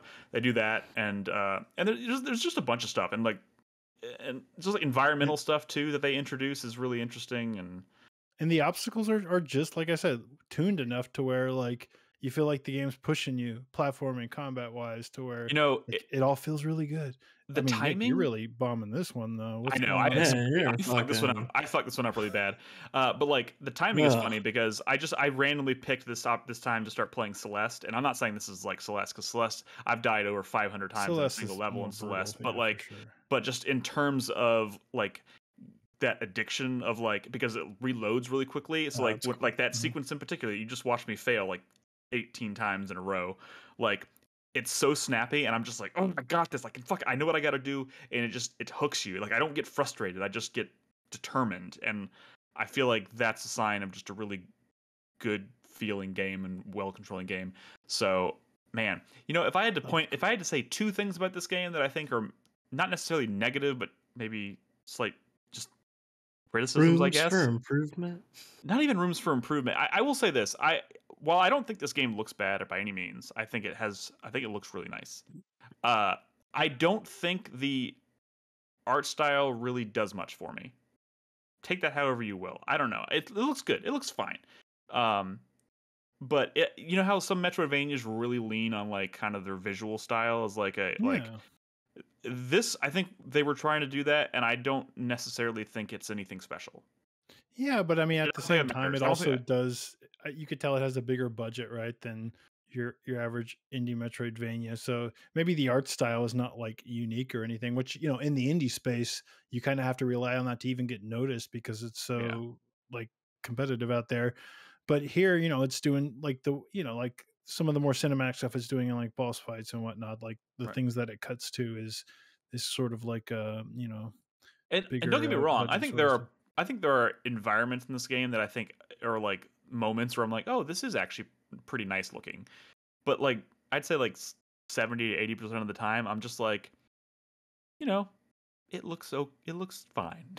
Would, would, Right. would you Um, would you say that um, this game probably has a lot more polish than what you would have expected? Because yeah, I'm thinking sure. I'm thinking about just like this game coming out and the Prince of Persia Sands of Time remake that was completely rebooted and delayed all to hell. Like, do you think they just reappropriated some funds to clean this up and say, "Hey, this Uh, is our big that. Th- this is game"? this is the fucking Rayman team. Like like they're good at making fucking video games. You know, right? I did not know that.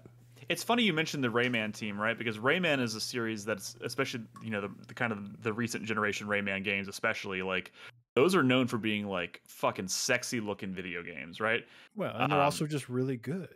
And they are really good. I'm not. I'm yeah. I'm just specifically speaking to like the visual style because it's, it it just kind of makes me a little sad again about the way You the don't think this game up- looks good? No, I I think it it looks looks kind of good. Sick. Like, No, no, no. like This is what I'm trying to say. Like I, I think it looks fine. I just and especially in I think there are just moments where especially in like when you when you're like watching cutscenes or like characters are talking to each other or like I'm in a room with like there's enemies That's shooting cool. at me and I'm just like it just looks kind of it just I don't know how to it's just some there are there are it's a moments in me- it's a it's a 2.5D Metroidvania that's using like realistic people instead of hyper Yeah, I- stylized I- I- cartoons. it's like it's a Well, genre it's a genre that has kind of become synonymous with having really artistic I guess. like- I think you're spoiled. know- I think I think you're I think your brain's fried a little of course bit. we're spoiled I, I, think your brain's just fried a little bit, man. like, Uh, so so I I have I have a um a pet like a thing that's bothering me about this game that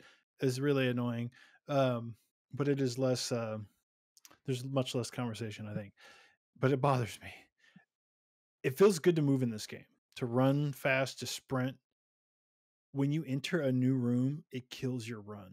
And Oh, start yeah. again from the ground. So you can't jump or run into another screen. You're always on your feet mm, and you're always not running. And that all to me it's like a sin. Like what are you doing right? Like think about again metroid dread right? Like you you never lost that momentum. And in fact there was a lot of like cool platforming puzzles that involved like running like across like distant parts of the map to like do shine spark puzzles and stuff right uh, platforming challenges and to me it just it feels gross. For a game that feels so good it feels gross every time i enter a room you know? I'm like oh you were so close just patch this or something what did you do?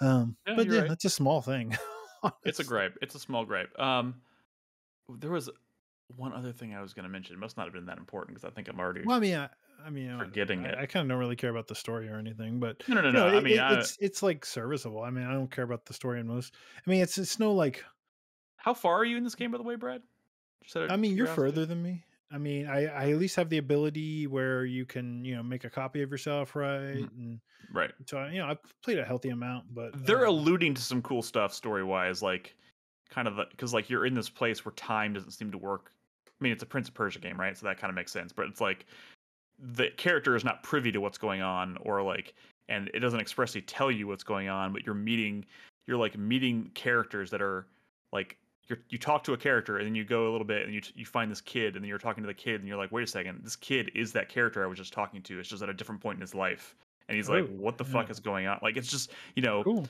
it's it's cool. Like some of that stuff is pretty cool. I don't know where it's going yet, but you know, th- It- that's not the, that's not the super important part, I suppose.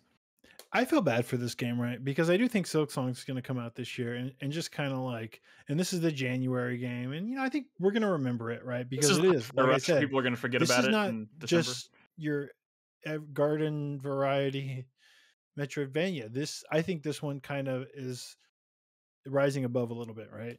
And I think we will remember it. But Silksong is also like, you know, it's the guy, right? Like it's the one, and you know.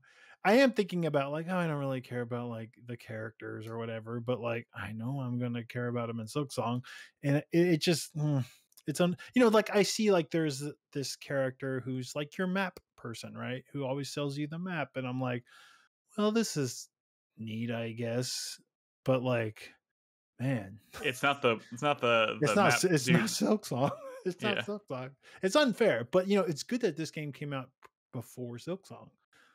But I mean, it's Yeah. better than that. I mean, it, it it it really does. Like, I think this game is remarkable. To me, it's not.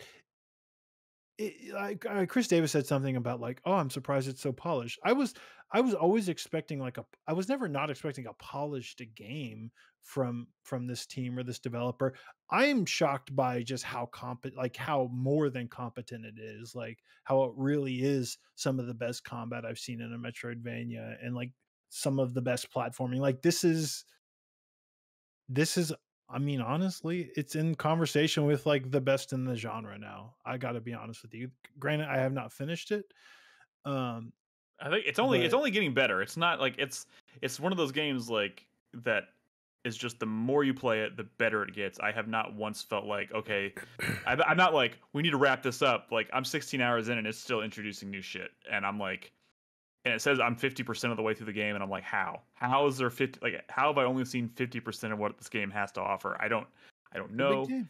It's a big game. Uh, yeah, I just had no idea this was Montpellier. yep. I wait, is it? Is that the studio? Montpellier? that ma- Yeah. Montpellier. Yep. Well, you know, I'll just say it's pretty fucking good. it's a pretty fucking good. This is the game that Ed drafted and then Nolan counterpicked, so it kind of fucked him a little bit. Yeah, it was Uh, the one where like when when Nolan counterpicked it, everyone got the the ones who knew knew. We got real quiet because we're like, "Ooh, that's a bad counterpick." The, the preview buzz for this game was very positive. Um, Yeah, but you know, yeah. not everybody was really paying attention. Um, But also, again, I think we, I think most of us, ha- at least, I think most of us, if not all of us, have at least one game on our list, on our draft, or on our league that we we know is probably oh, gonna yeah. fuck, fuck oh, us yeah. a little bit. Counterpicking was a bloodbath this year. Like It we're was. all gonna like get our asses beat. Um, Uh, which is Except for me.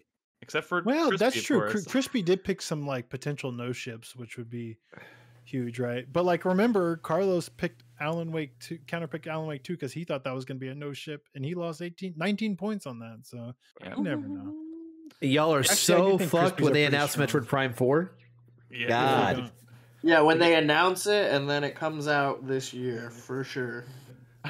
For I mean, sure, I- Chris I think Davis. For sure. Do Not, don't forget my about my Donkey You're Kong game. Yeah, totally I good. just feel good because Jeff Grubb. So Giant Bomb did also Fantasy Critic for the first time this year, Uh huh. and um, Jeff Grubb drafted an Metroid unannounced Prime. 3D Mario game.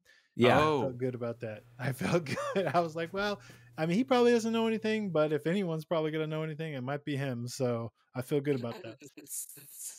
All right, so let's let's uh let's shift gears. Brad, you wanted to talk about your time with Tekken. The new Oh, Tekken yeah. game. Oh, also sitting- certified 90 Tekken? Oh yeah, Tekken's yeah, back, yeah. baby. Right? is That- good.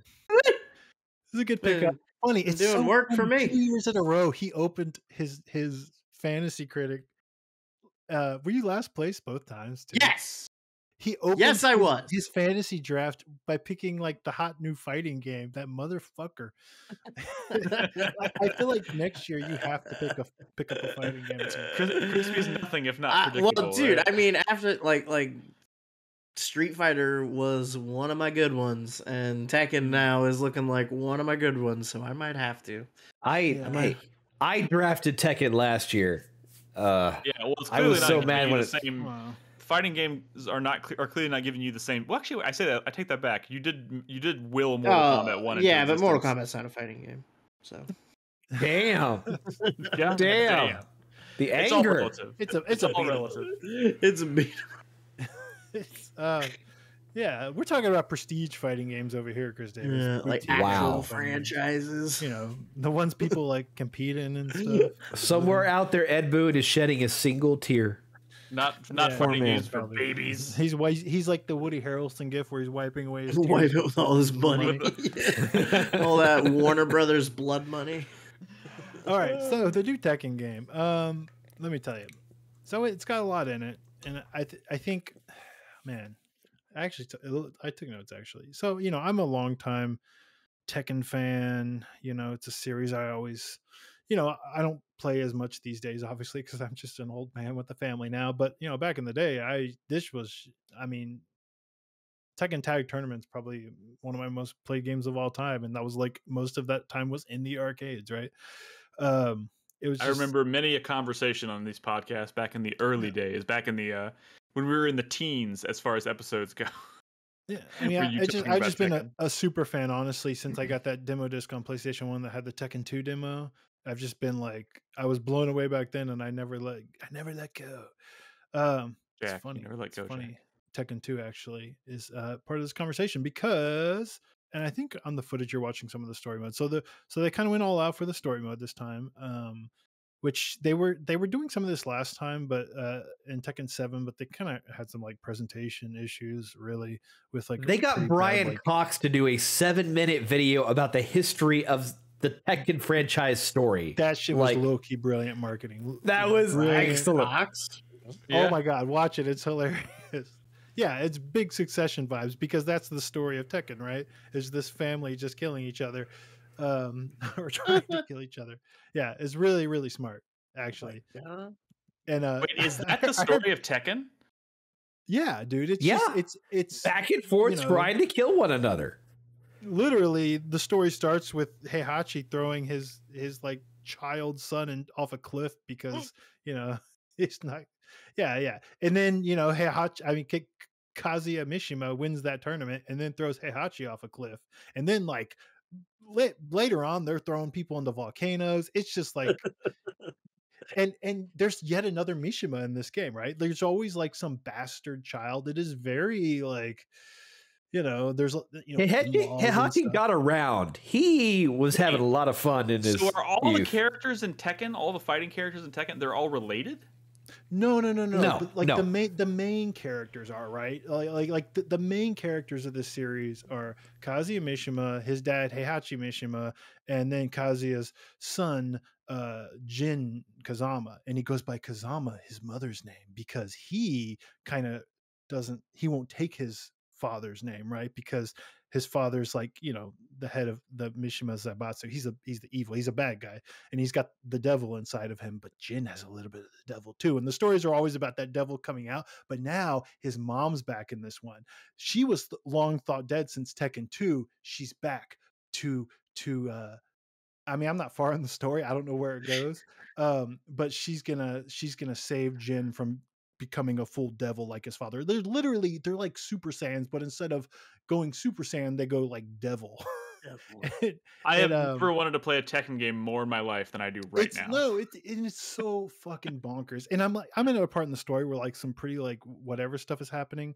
Actually, there's a tournament going on, and a new Mishima shows up. It's this girl, Reina, and and she and she's fighting Jin, and, and you're Jin for I guess most of the story, at least this part of the story, which is tough for me because I don't play Jin at all, and I'm not good with Jin, and the the story is very cinematic, kind of like Mortal Kombat, where it's like cutting between like cutscene and store and, and a fight and stuff. So you're always on the left side. You know, in any other mode, I can choose to start on the right side, and I'm like terrible playing a Mishima on the left side. Um, I, I say that because it's kind of like they all have this fighting style. Uh, think of it like a like a Shoto in Street Fighter, right? You know, like a like a Ken and Ryu, right? Where where a dragon punch is a very big part of that move set, right? And some people don't like doing that motion, if you will. Think of a Mishima fighting style, something kind of like that. And I suck on doing it on the left side and yada yada yada. Anyways, uh, there's this new girl and she's fighting Jin, and Jin notices immediately, like, what the fuck? She's using the Mishima fighting style.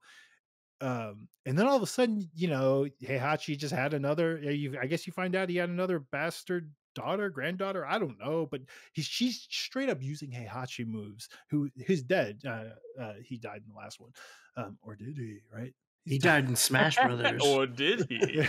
yeah, yeah. Um, it like she's either was trained by Heihachi, she's clearly related to Heihachi, or has the spirit of Heihachi in her. I don't know, but she's fucking badass. But because she's like all the ladies that have like used like kind of the Kaz- the Kazama fighting style, it's never like the Mishima wave dash like crazy like like electric when God Fist style fighting style, but she has it. She has like the brutal, crazy animations of like Heihachi, which is actually kind of nice for this series because you know the ladies in this series don't get the really powerful looking badass moves all the time. You know, they're they're That's you know, unfortunate. a lot of the ladies are like the quick characters. You know, that's just sort of like a fighting game trope, right?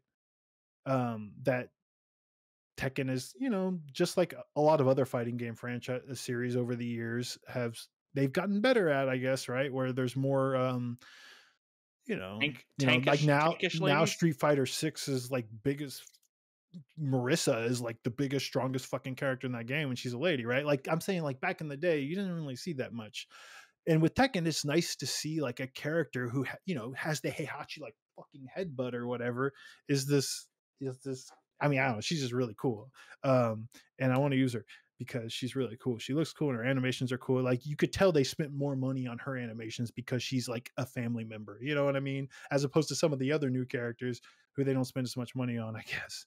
Although Azucena is a Peruvian dancer who always talks about coffee. I guess they don't know much about I'm listening. people from Peru. They just knew know that I coffee guess comes coffee from comes from Peru.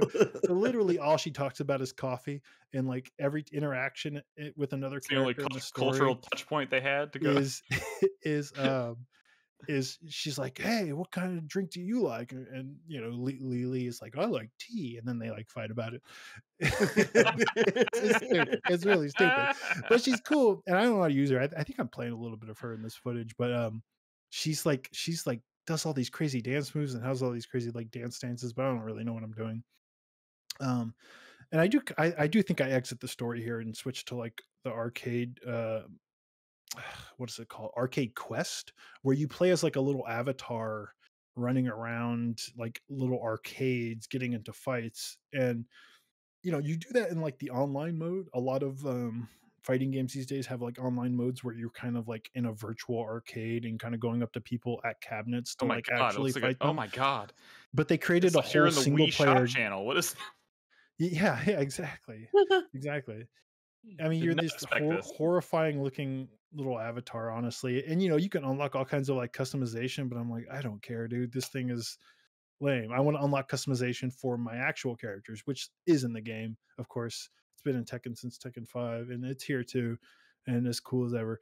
But um but like they created this whole little uh, single player mode where you're doing this arcade quest and you're kind of going around there's all kinds of like challenges and stuff and it's really just kind of teaching you the ins and outs of the game which is nice because like tekken is like probably up there as like maybe like one of the most complicated like d- fighting games out there like the move list in a tekken game will put like most other fighting games to shame it's absurd right? And it, it's a very intimidating series very hard to get into you know they have this thing called the Korean backdash, which you know Koreans invented you know decades ago in Tekken. I think when Tag came out or three came out actually, that's like such a complicated, like physically hard to do movement, like on a joystick.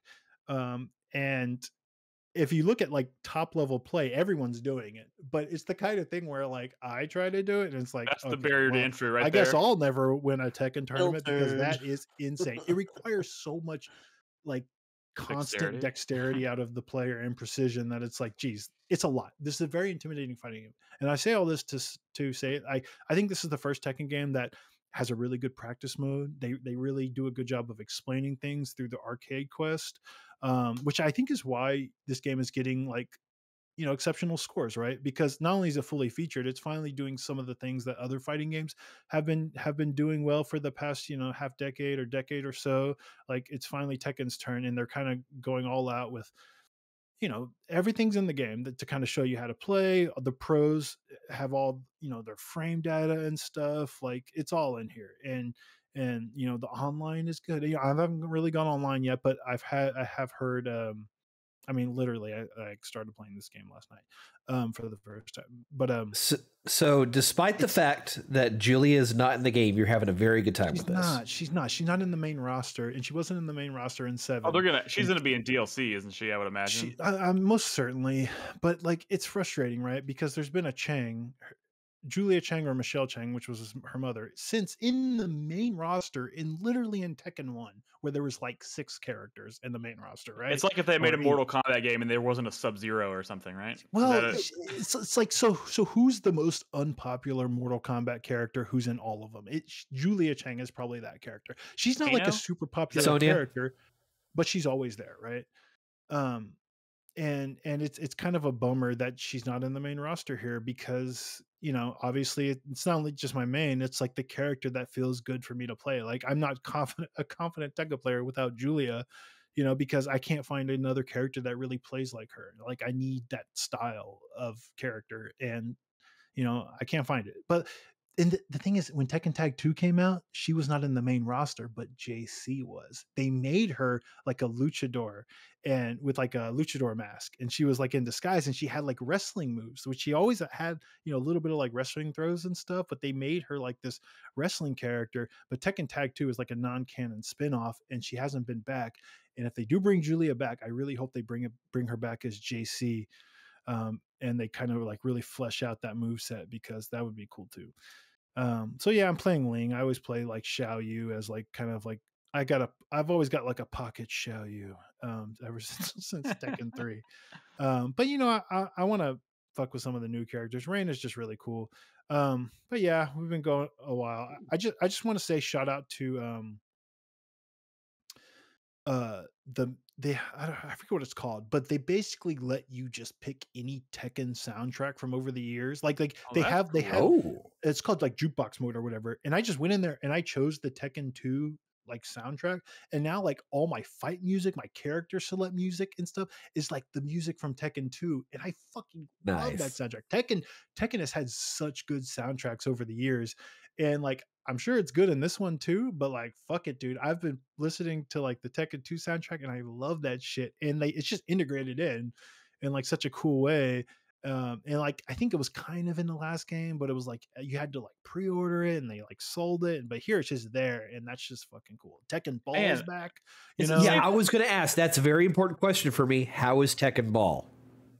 Well, I've I mean, look, there's a lot of modes. I haven't fucked with Tekken Ball yet, but I know it's back. I saw it in the menu, and that's super hype. Tekken Ball was like this Tekken 3 mode that was like super cool. It was like volleyball with Tekken.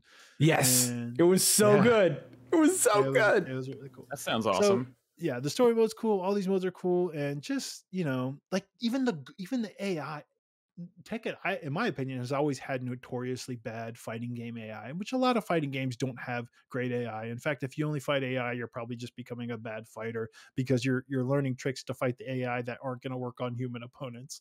But like this is the first Tekken game I can recall where like uh, the Ghost AI is like actually consistently finishing long juggles and stuff, which you know is kind of a big part of Tekken, right? These air combos where you're like juggling an enemy all the way to the wall and like doing wall damage, and like the AI is like pulling this shit off, and it's like kind of crazy. So you know, this seems like even if you're not going online, like there's a lot here to do, but um, you know, just between like the story mode and all this like mode, there's all kinds of unlocks. You know, you're getting money to buy stuff to customize your characters and whatnot they got cool new characters, but um, yeah, and the online mode is supposed to be way better than it was. So, yeah, man, are we in the? Are, it's, is it's it safe to one. say? Is it safe to say we're like in the golden era of like fighting games? Again, why are you like, gotta make these? why, why Nick? Why are you addicted to these sweeping declarations? Yeah. No, I don't know. like, like, what are the odds of getting like an like a really good Mortal Kombat, like, looking really good for the headline, really good tech Tekken, and like within a year of each other. It's crazy. Yeah, you say that, but like, What's but like next? the actual Guilty FGC Gear? is, is I mean, or Guilty Gear's pretty been cool pretty good on- for a while, right? Uh, on- counterpoint: those games Mortal actually Kombat. suck. Mortal Wow. Kombat has actually been a little. uh People have been cooling on that one. It's not the history is not remembering that one as fondly, and it's sad to say that. Mortal, from Mortal is Kombat 1, which hasn't even been but- out a year. I know. I'm just out six saying, months. like. I mean, I granted, mean, I could be wrong. I don't have my ear to the ground the way you do about fighting games, but I also I feel like people cooled on Street Fighter 6 too, or maybe I'm wrong. um, I feel I feel like no, No. like I don't feel like I've heard anybody moved talk back about Street into Fighter 6. They just moved back into their niche communities. yeah, it's kind of that. It's kind of that. I mean, the, Like- the like- problem is, like is that Mortal Kombat One came out within a couple months of a numbered Street Fighter game.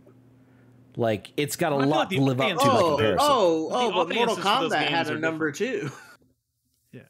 Yeah. But like the Tekken's been gone audiences for- for Street Fighter and the audiences for Mortal Kombat, and even and the audiences for Tekken, I, I mean, there's obviously overlap. There's some overlap because a lot of people just really love fighting games in general. But I feel like Yeah, all three of these counting games kind of cater to like- different types of fighting game players. Yeah, So- but then they're also like the three biggest fighting game franchises minus Smash, right? Yeah. it's, it's just I don't know. It, it, Tekken's been gone for a long. Like Seven came out a long time ago. That was a, originally an arcade only launch, and it was like years before that even went to consoles. Think about that. That's a long time ago, and and it's just nice to see that this one seems like a lot of people are playing it. A lot of people are, you know, it's getting really good reviews. Like Tekken used to be on top of the world. Like when Tekken 3 came out, that was like literally one of the best selling games on PlayStation. It was like 10 million plus, right? And like Yeah. the series is kind of like sh- it's kind of gone in terms of sales, kind of like had its ups and downs. Like Tekken Tag 2 was a bomb. It's just nice to kind of see it back on top again. But you know, then again, 7 was really good and popular. So Yeah, J Hit says Tekken 7 was at arcade in 2015 for reference. that's fucking crazy. That's like bananas. I, I, I don't even think Jin was in the game when that launched. It didn't even have Jin in the main roster. It was it was like not many characters. It was crazy. But yeah, anyways, that's it. First DLC characters Eddie. I have a pocket Eddie, so I'm pretty excited about that. But um, I want Julia. So of course, of course. Oh, you, you know, Alright. Bandai Namco is going to have robust DLC plans. of Oh, course, sure. There- there's probably- hopefully better choices. Oh, well, you know, I'll save that for my four player minute. Perfect. And actually, that's a perfect way to transition to our four player minute. Oh shit. And it's the, it's time to wrap up the show with our four player minute, our final thoughts for the week. And I'll just roll it into Brad because he's already talking about Tekken anyway. So kick- Um, well, DLC characters. It's funny because that's relevant. Uh, there was a Harada tweet, and a Harada tweet, and that, God. that got some gained some traction, and he was quote tre- tweeting some. Basically, someone was like, "Dude, put Tifa in fucking Tekken," and he quote tweeted, and he was like, "Look, I would love for Tifa to be in Tekken, but yada yada yada." We, no haven't made any uh, determinations about guest characters And you know, yet. Max Maximilian Dood was out there like, dude, if you've ever liked or never liked or retweeted a, a anything, this is the tweet to do it. You know, to start or whatever. You know, he like I don't know how many likes it got up to, but like, man, anything with Tifa, Tifa will do it. Lockhart is the perfect Tekken guest character.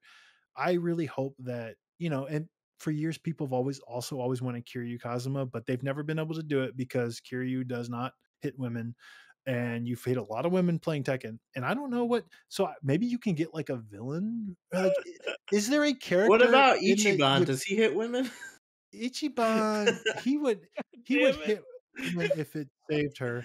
Maybe. I don't know. Ichiban wouldn't hit a woman, right?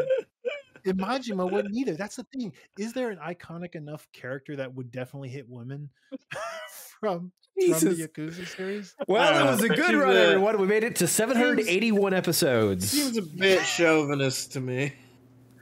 Uh, you um, know, you know what? Who's the most? Ooh, you know, there's some good villains. You know, there's some good villains. The Yakuza Two villain. Oh yeah, yeah. yeah. Okay, Hey, okay. But whatever. You know, it got me thinking about a- guest characters, and I, I really. Oh, Majima does hit women. Oh wait, I, wait, he's always been kind of a a semi bad guy. You said He's- that, he's, Brad. He's the Vegeta of He's a bad boy. the bad boy. you know, this is the Yakuza perfect year to do Tifa as a guest character because considering they can like pair it, they can like use Rebirth's release as kind of like uh, co-marketing, right? They can a marketing push for it. Like put Tifa in the game the same year they do the remake with of of seven. But but man, if they sense. got Majima and like Tifa, like I really hope they do better with the guest characters. They had What some about that dude from in seven. Judgment? Does he hit women? They they did the, the dude from Judgment does not hit women. No, no, no. I don't think you're gonna see Yagami hit a woman. but but uh, he's a lawyer. he's not even a yakuza guy. he's just a lawyer. He's never been in the yakuza. Um, not to say that lawyers can't. What are we talking about here? Guest characters. I hope it's better. Um, because you know, Seven had Noctis from Ugh. Final Fantasy. It had fucking Negan from The Walking Dead, which and and the reason I bring up the tweet is because that all stemmed from a, some some random tweet where some fucking assholes like, hey, you should put Negan in Tekken, and then Harada was like, yeah, that would be crazy, and then a year later they announced the DLC for Negan. Like this, this random asshole Somebody- on Twitter. somebody made this happen. Oh my god! But it was probably thinking like he probably really liked Walking Dead, and he was He probably hits like. "Mm, mm, too many of those characters wouldn't hit a woman, but Negan would. So he ended up in Tekken. I don't know. Oh my Um, god! so yeah, I don't know. Just thinking can't- about Can't even. guest characters. That's all. I'm so glad you finished that thought, Brad. That could have World gone Tel- so World bad. Teller, World Teller says Forspoken Girl. I don't remember her mean, name. That is. ugh, don't do that. But No. I mean, Negan was a bad choice. So, I mean, they've made definitely made bad choices before. I don't know enough about Tekken to, to make to, to really know what makes a good or bad guest character. So Okay, well, I'll fucking tell you. There's this new character. I don't even know his name. I refuse to learn his name. I'm never gonna play a second of this new character. He has swords and guns and knives and shit. Get that shit out of Tekken, okay? Tekken is started as it was like a martial arts. I mean, granted, there's like a bear and a giant robot and a kangaroo and stuff, but it's like a martial arts game, right? You know, it's not a weapons game. There's one character that had a weapon, and it was Yoshimitsu. And, and he did barely even used his sword, and now everyone Victor apparently guns. is Nina Williams name. is shooting guns in her combos and stuff now. It's like Tekken's getting a little too crazy. Let's rein it back in. I want some.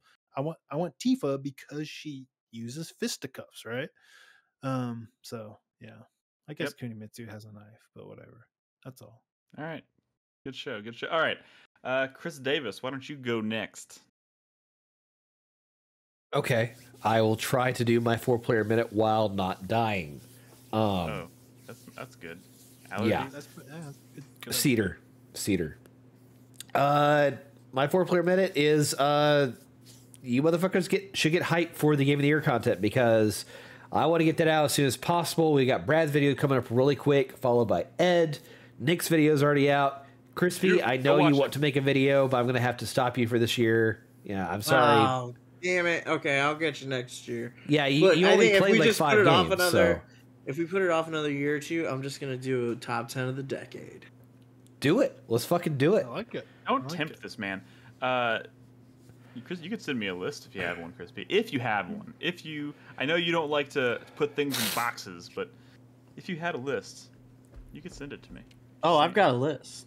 Oh, but you- Send it to me. the thing is you eventually have to make we we have to make a video for you whether that means that you just send us a list and we do all the work for Uh-uh. you and put words in your mouth I'll just, I'll do my best Crispy impersonation. Dude, ten. that's no like, fuck that we got technology for that we can deep fake the shit out of him that's my dream Crispy's, scenario. Crispy's like, that was my plan all along. Oh, deep fake me.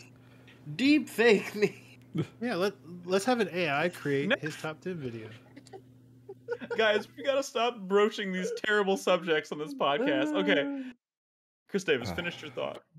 but yeah uh videos should be out most of them should be out by sunday uh the i hope to have mine out by then no guarantees but uh check it out they, they are coming Oh my god, Nick, Nick's you didn't really put good. Resident Evil 4 on your list. I know I did. I didn't put Resident Evil 4 on my list. Look, Nobody likes Resident Evil 4. It's a dumb game that already came it's a great out. game.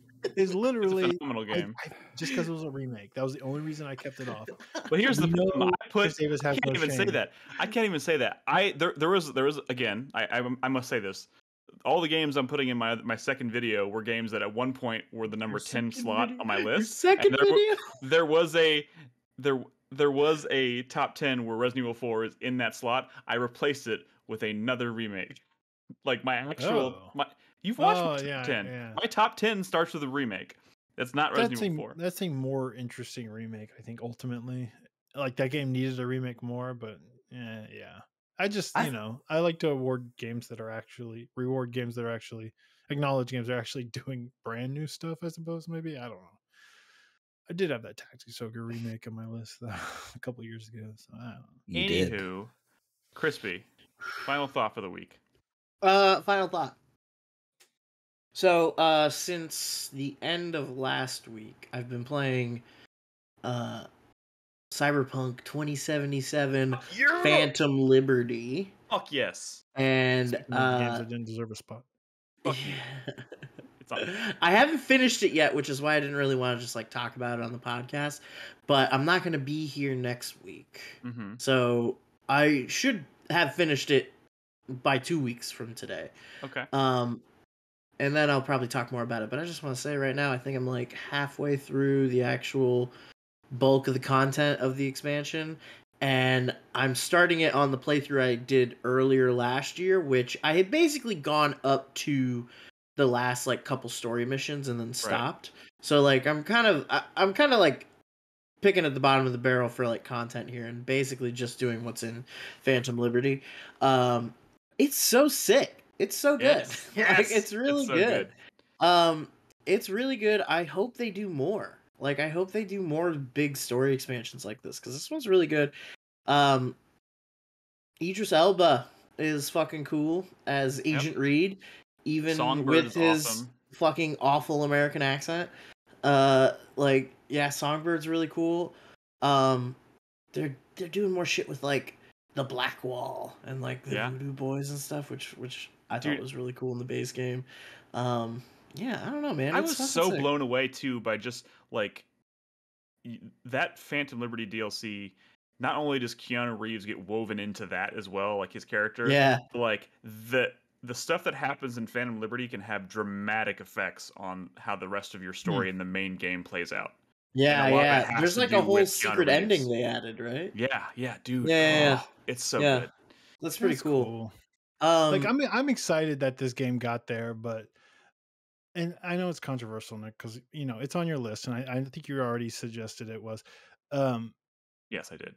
look, I heard a, the perfect analogy like just recently, and it's like these motherfuckers turned in a paper and got an F, and Yeah. then everyone told them all the things, all the answers they got wrong, and then they went back and they fixed it all and turned it in again, and now they're like, "Give us our A." Like, look, we're happy the game is good now, but like, you don't deserve the A, you motherfuckers. Like, you're you're lucky you didn't rip us all off, and you finally had enough money to make the game great.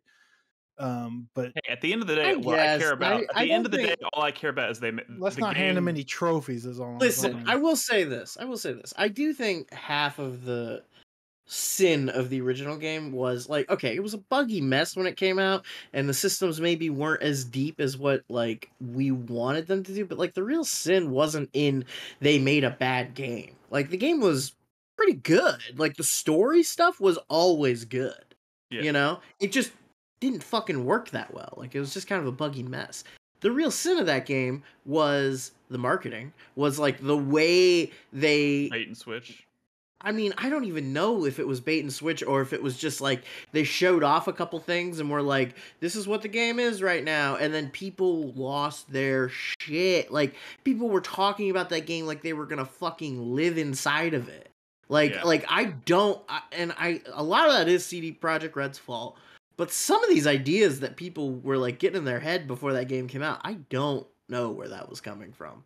I don't know where that was coming from. People got fucking insane with that game. And I think a lot of it was just these are the Witcher 3 guys, like, you know, and and mm. Witcher 3 was amazing. But Witcher 3 did the same fucking shit where it's like they released a game that looked pretty good and like had a cool story, but like the gameplay system sucked and then they redesigned it like, you know, 6 months to a year after and then it was like cool. Like it was fine and whatever. I like I don't know that CD Projekt Red deserves an A for the last for like the launch of Cyberpunk, but like as it exists right now, and Phantom Liberty, like that stuff's pretty good.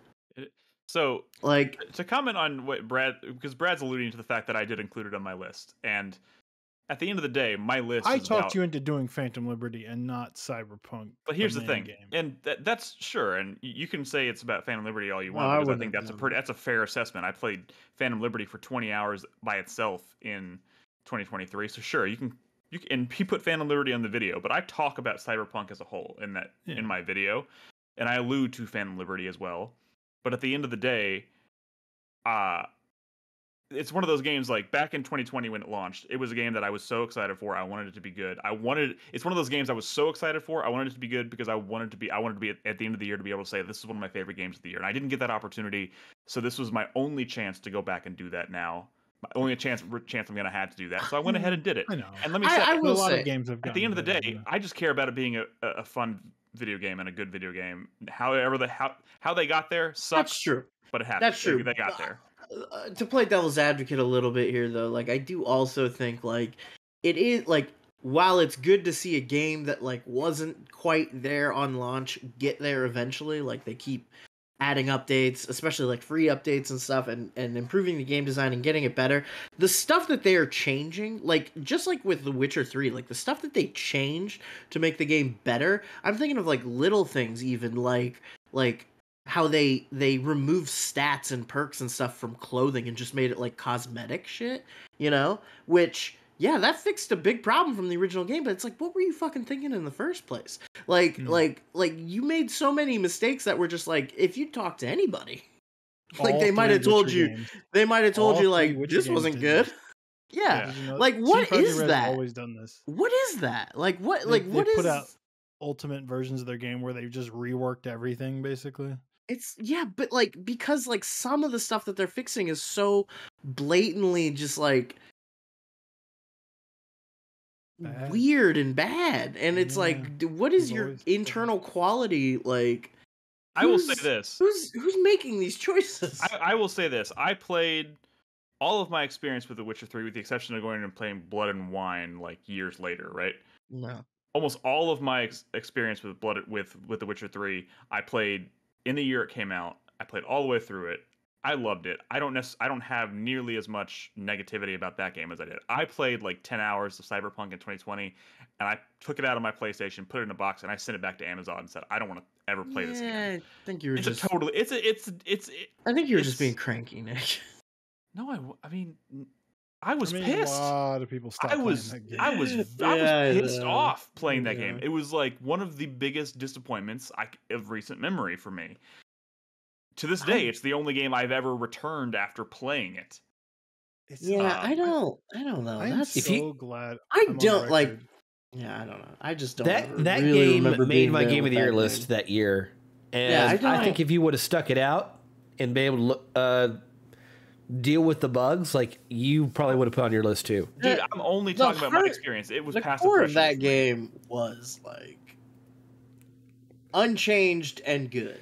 Like, I, Sure, yeah, I, sure. I don't just like. sa- the year it came out, it crossed a line for me.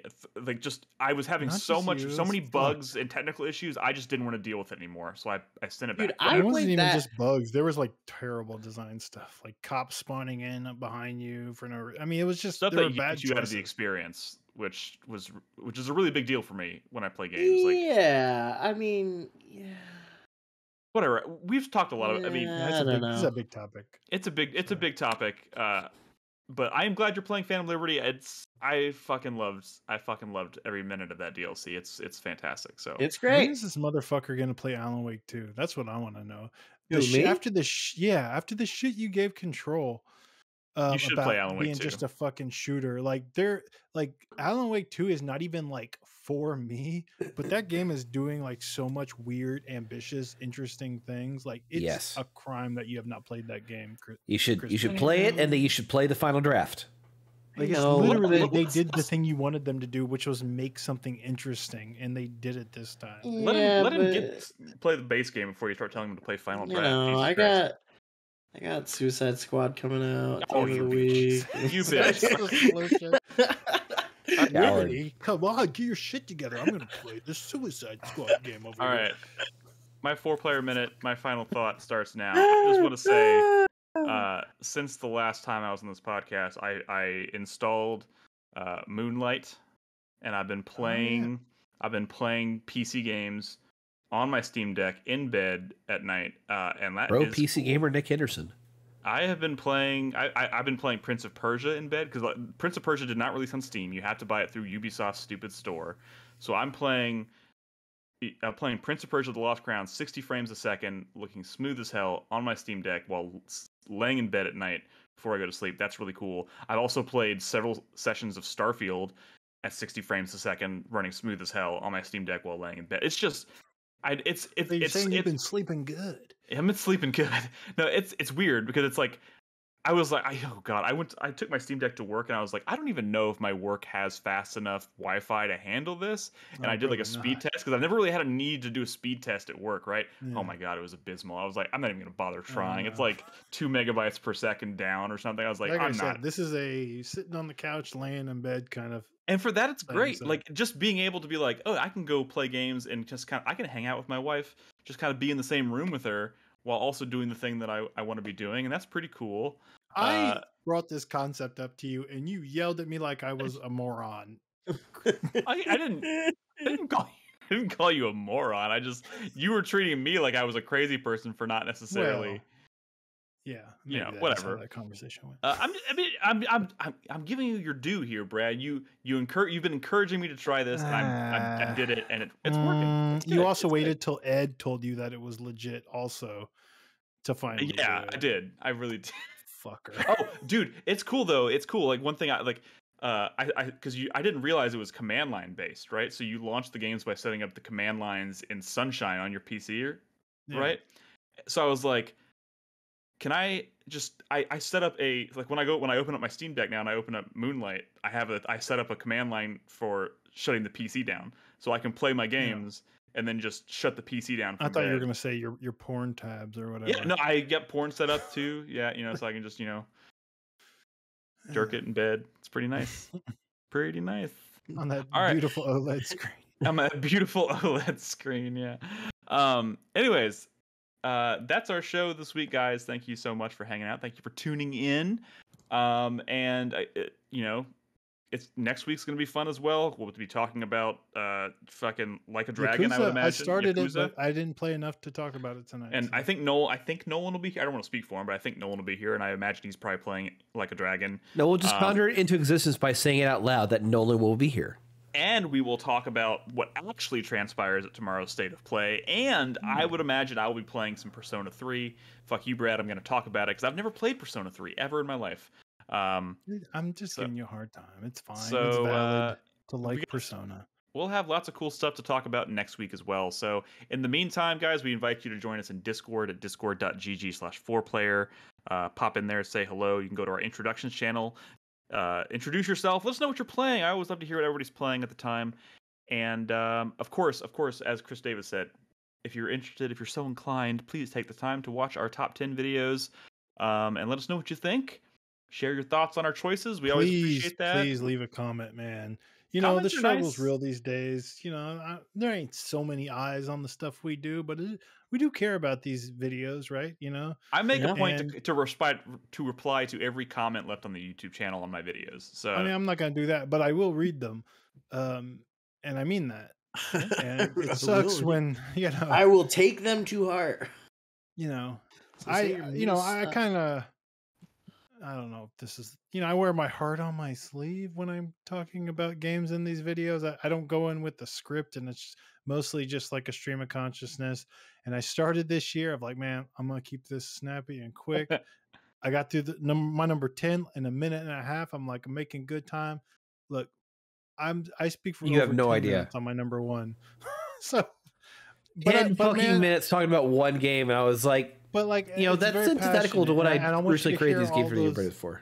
all those words even if i'm even if I spend like a good minute just laughing at bioware it's not fair i'm sorry but you know i just want y'all to listen and let me know what you think that's how i know you you watched um Yep. so yeah you know it's funny. It's always funny. Like I post when I when I when I hit the publish button, like when I launched my video, right? And I posted my video in the Game of the Year channel in Discord, right?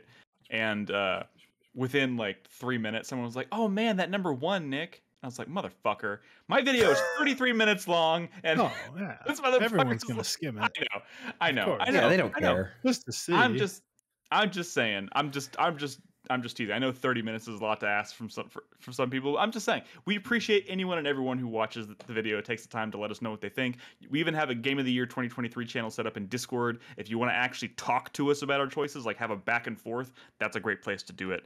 Um, I'm going to get so many dislikes on my video. You have no fucking idea.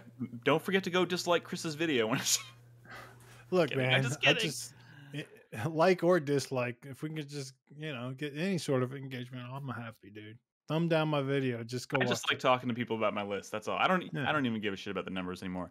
Anyways, um, thank you so much for listening. Thank you for tuning in. Of course, in the meantime, you can find all of our episodes on 4playernetwork.com.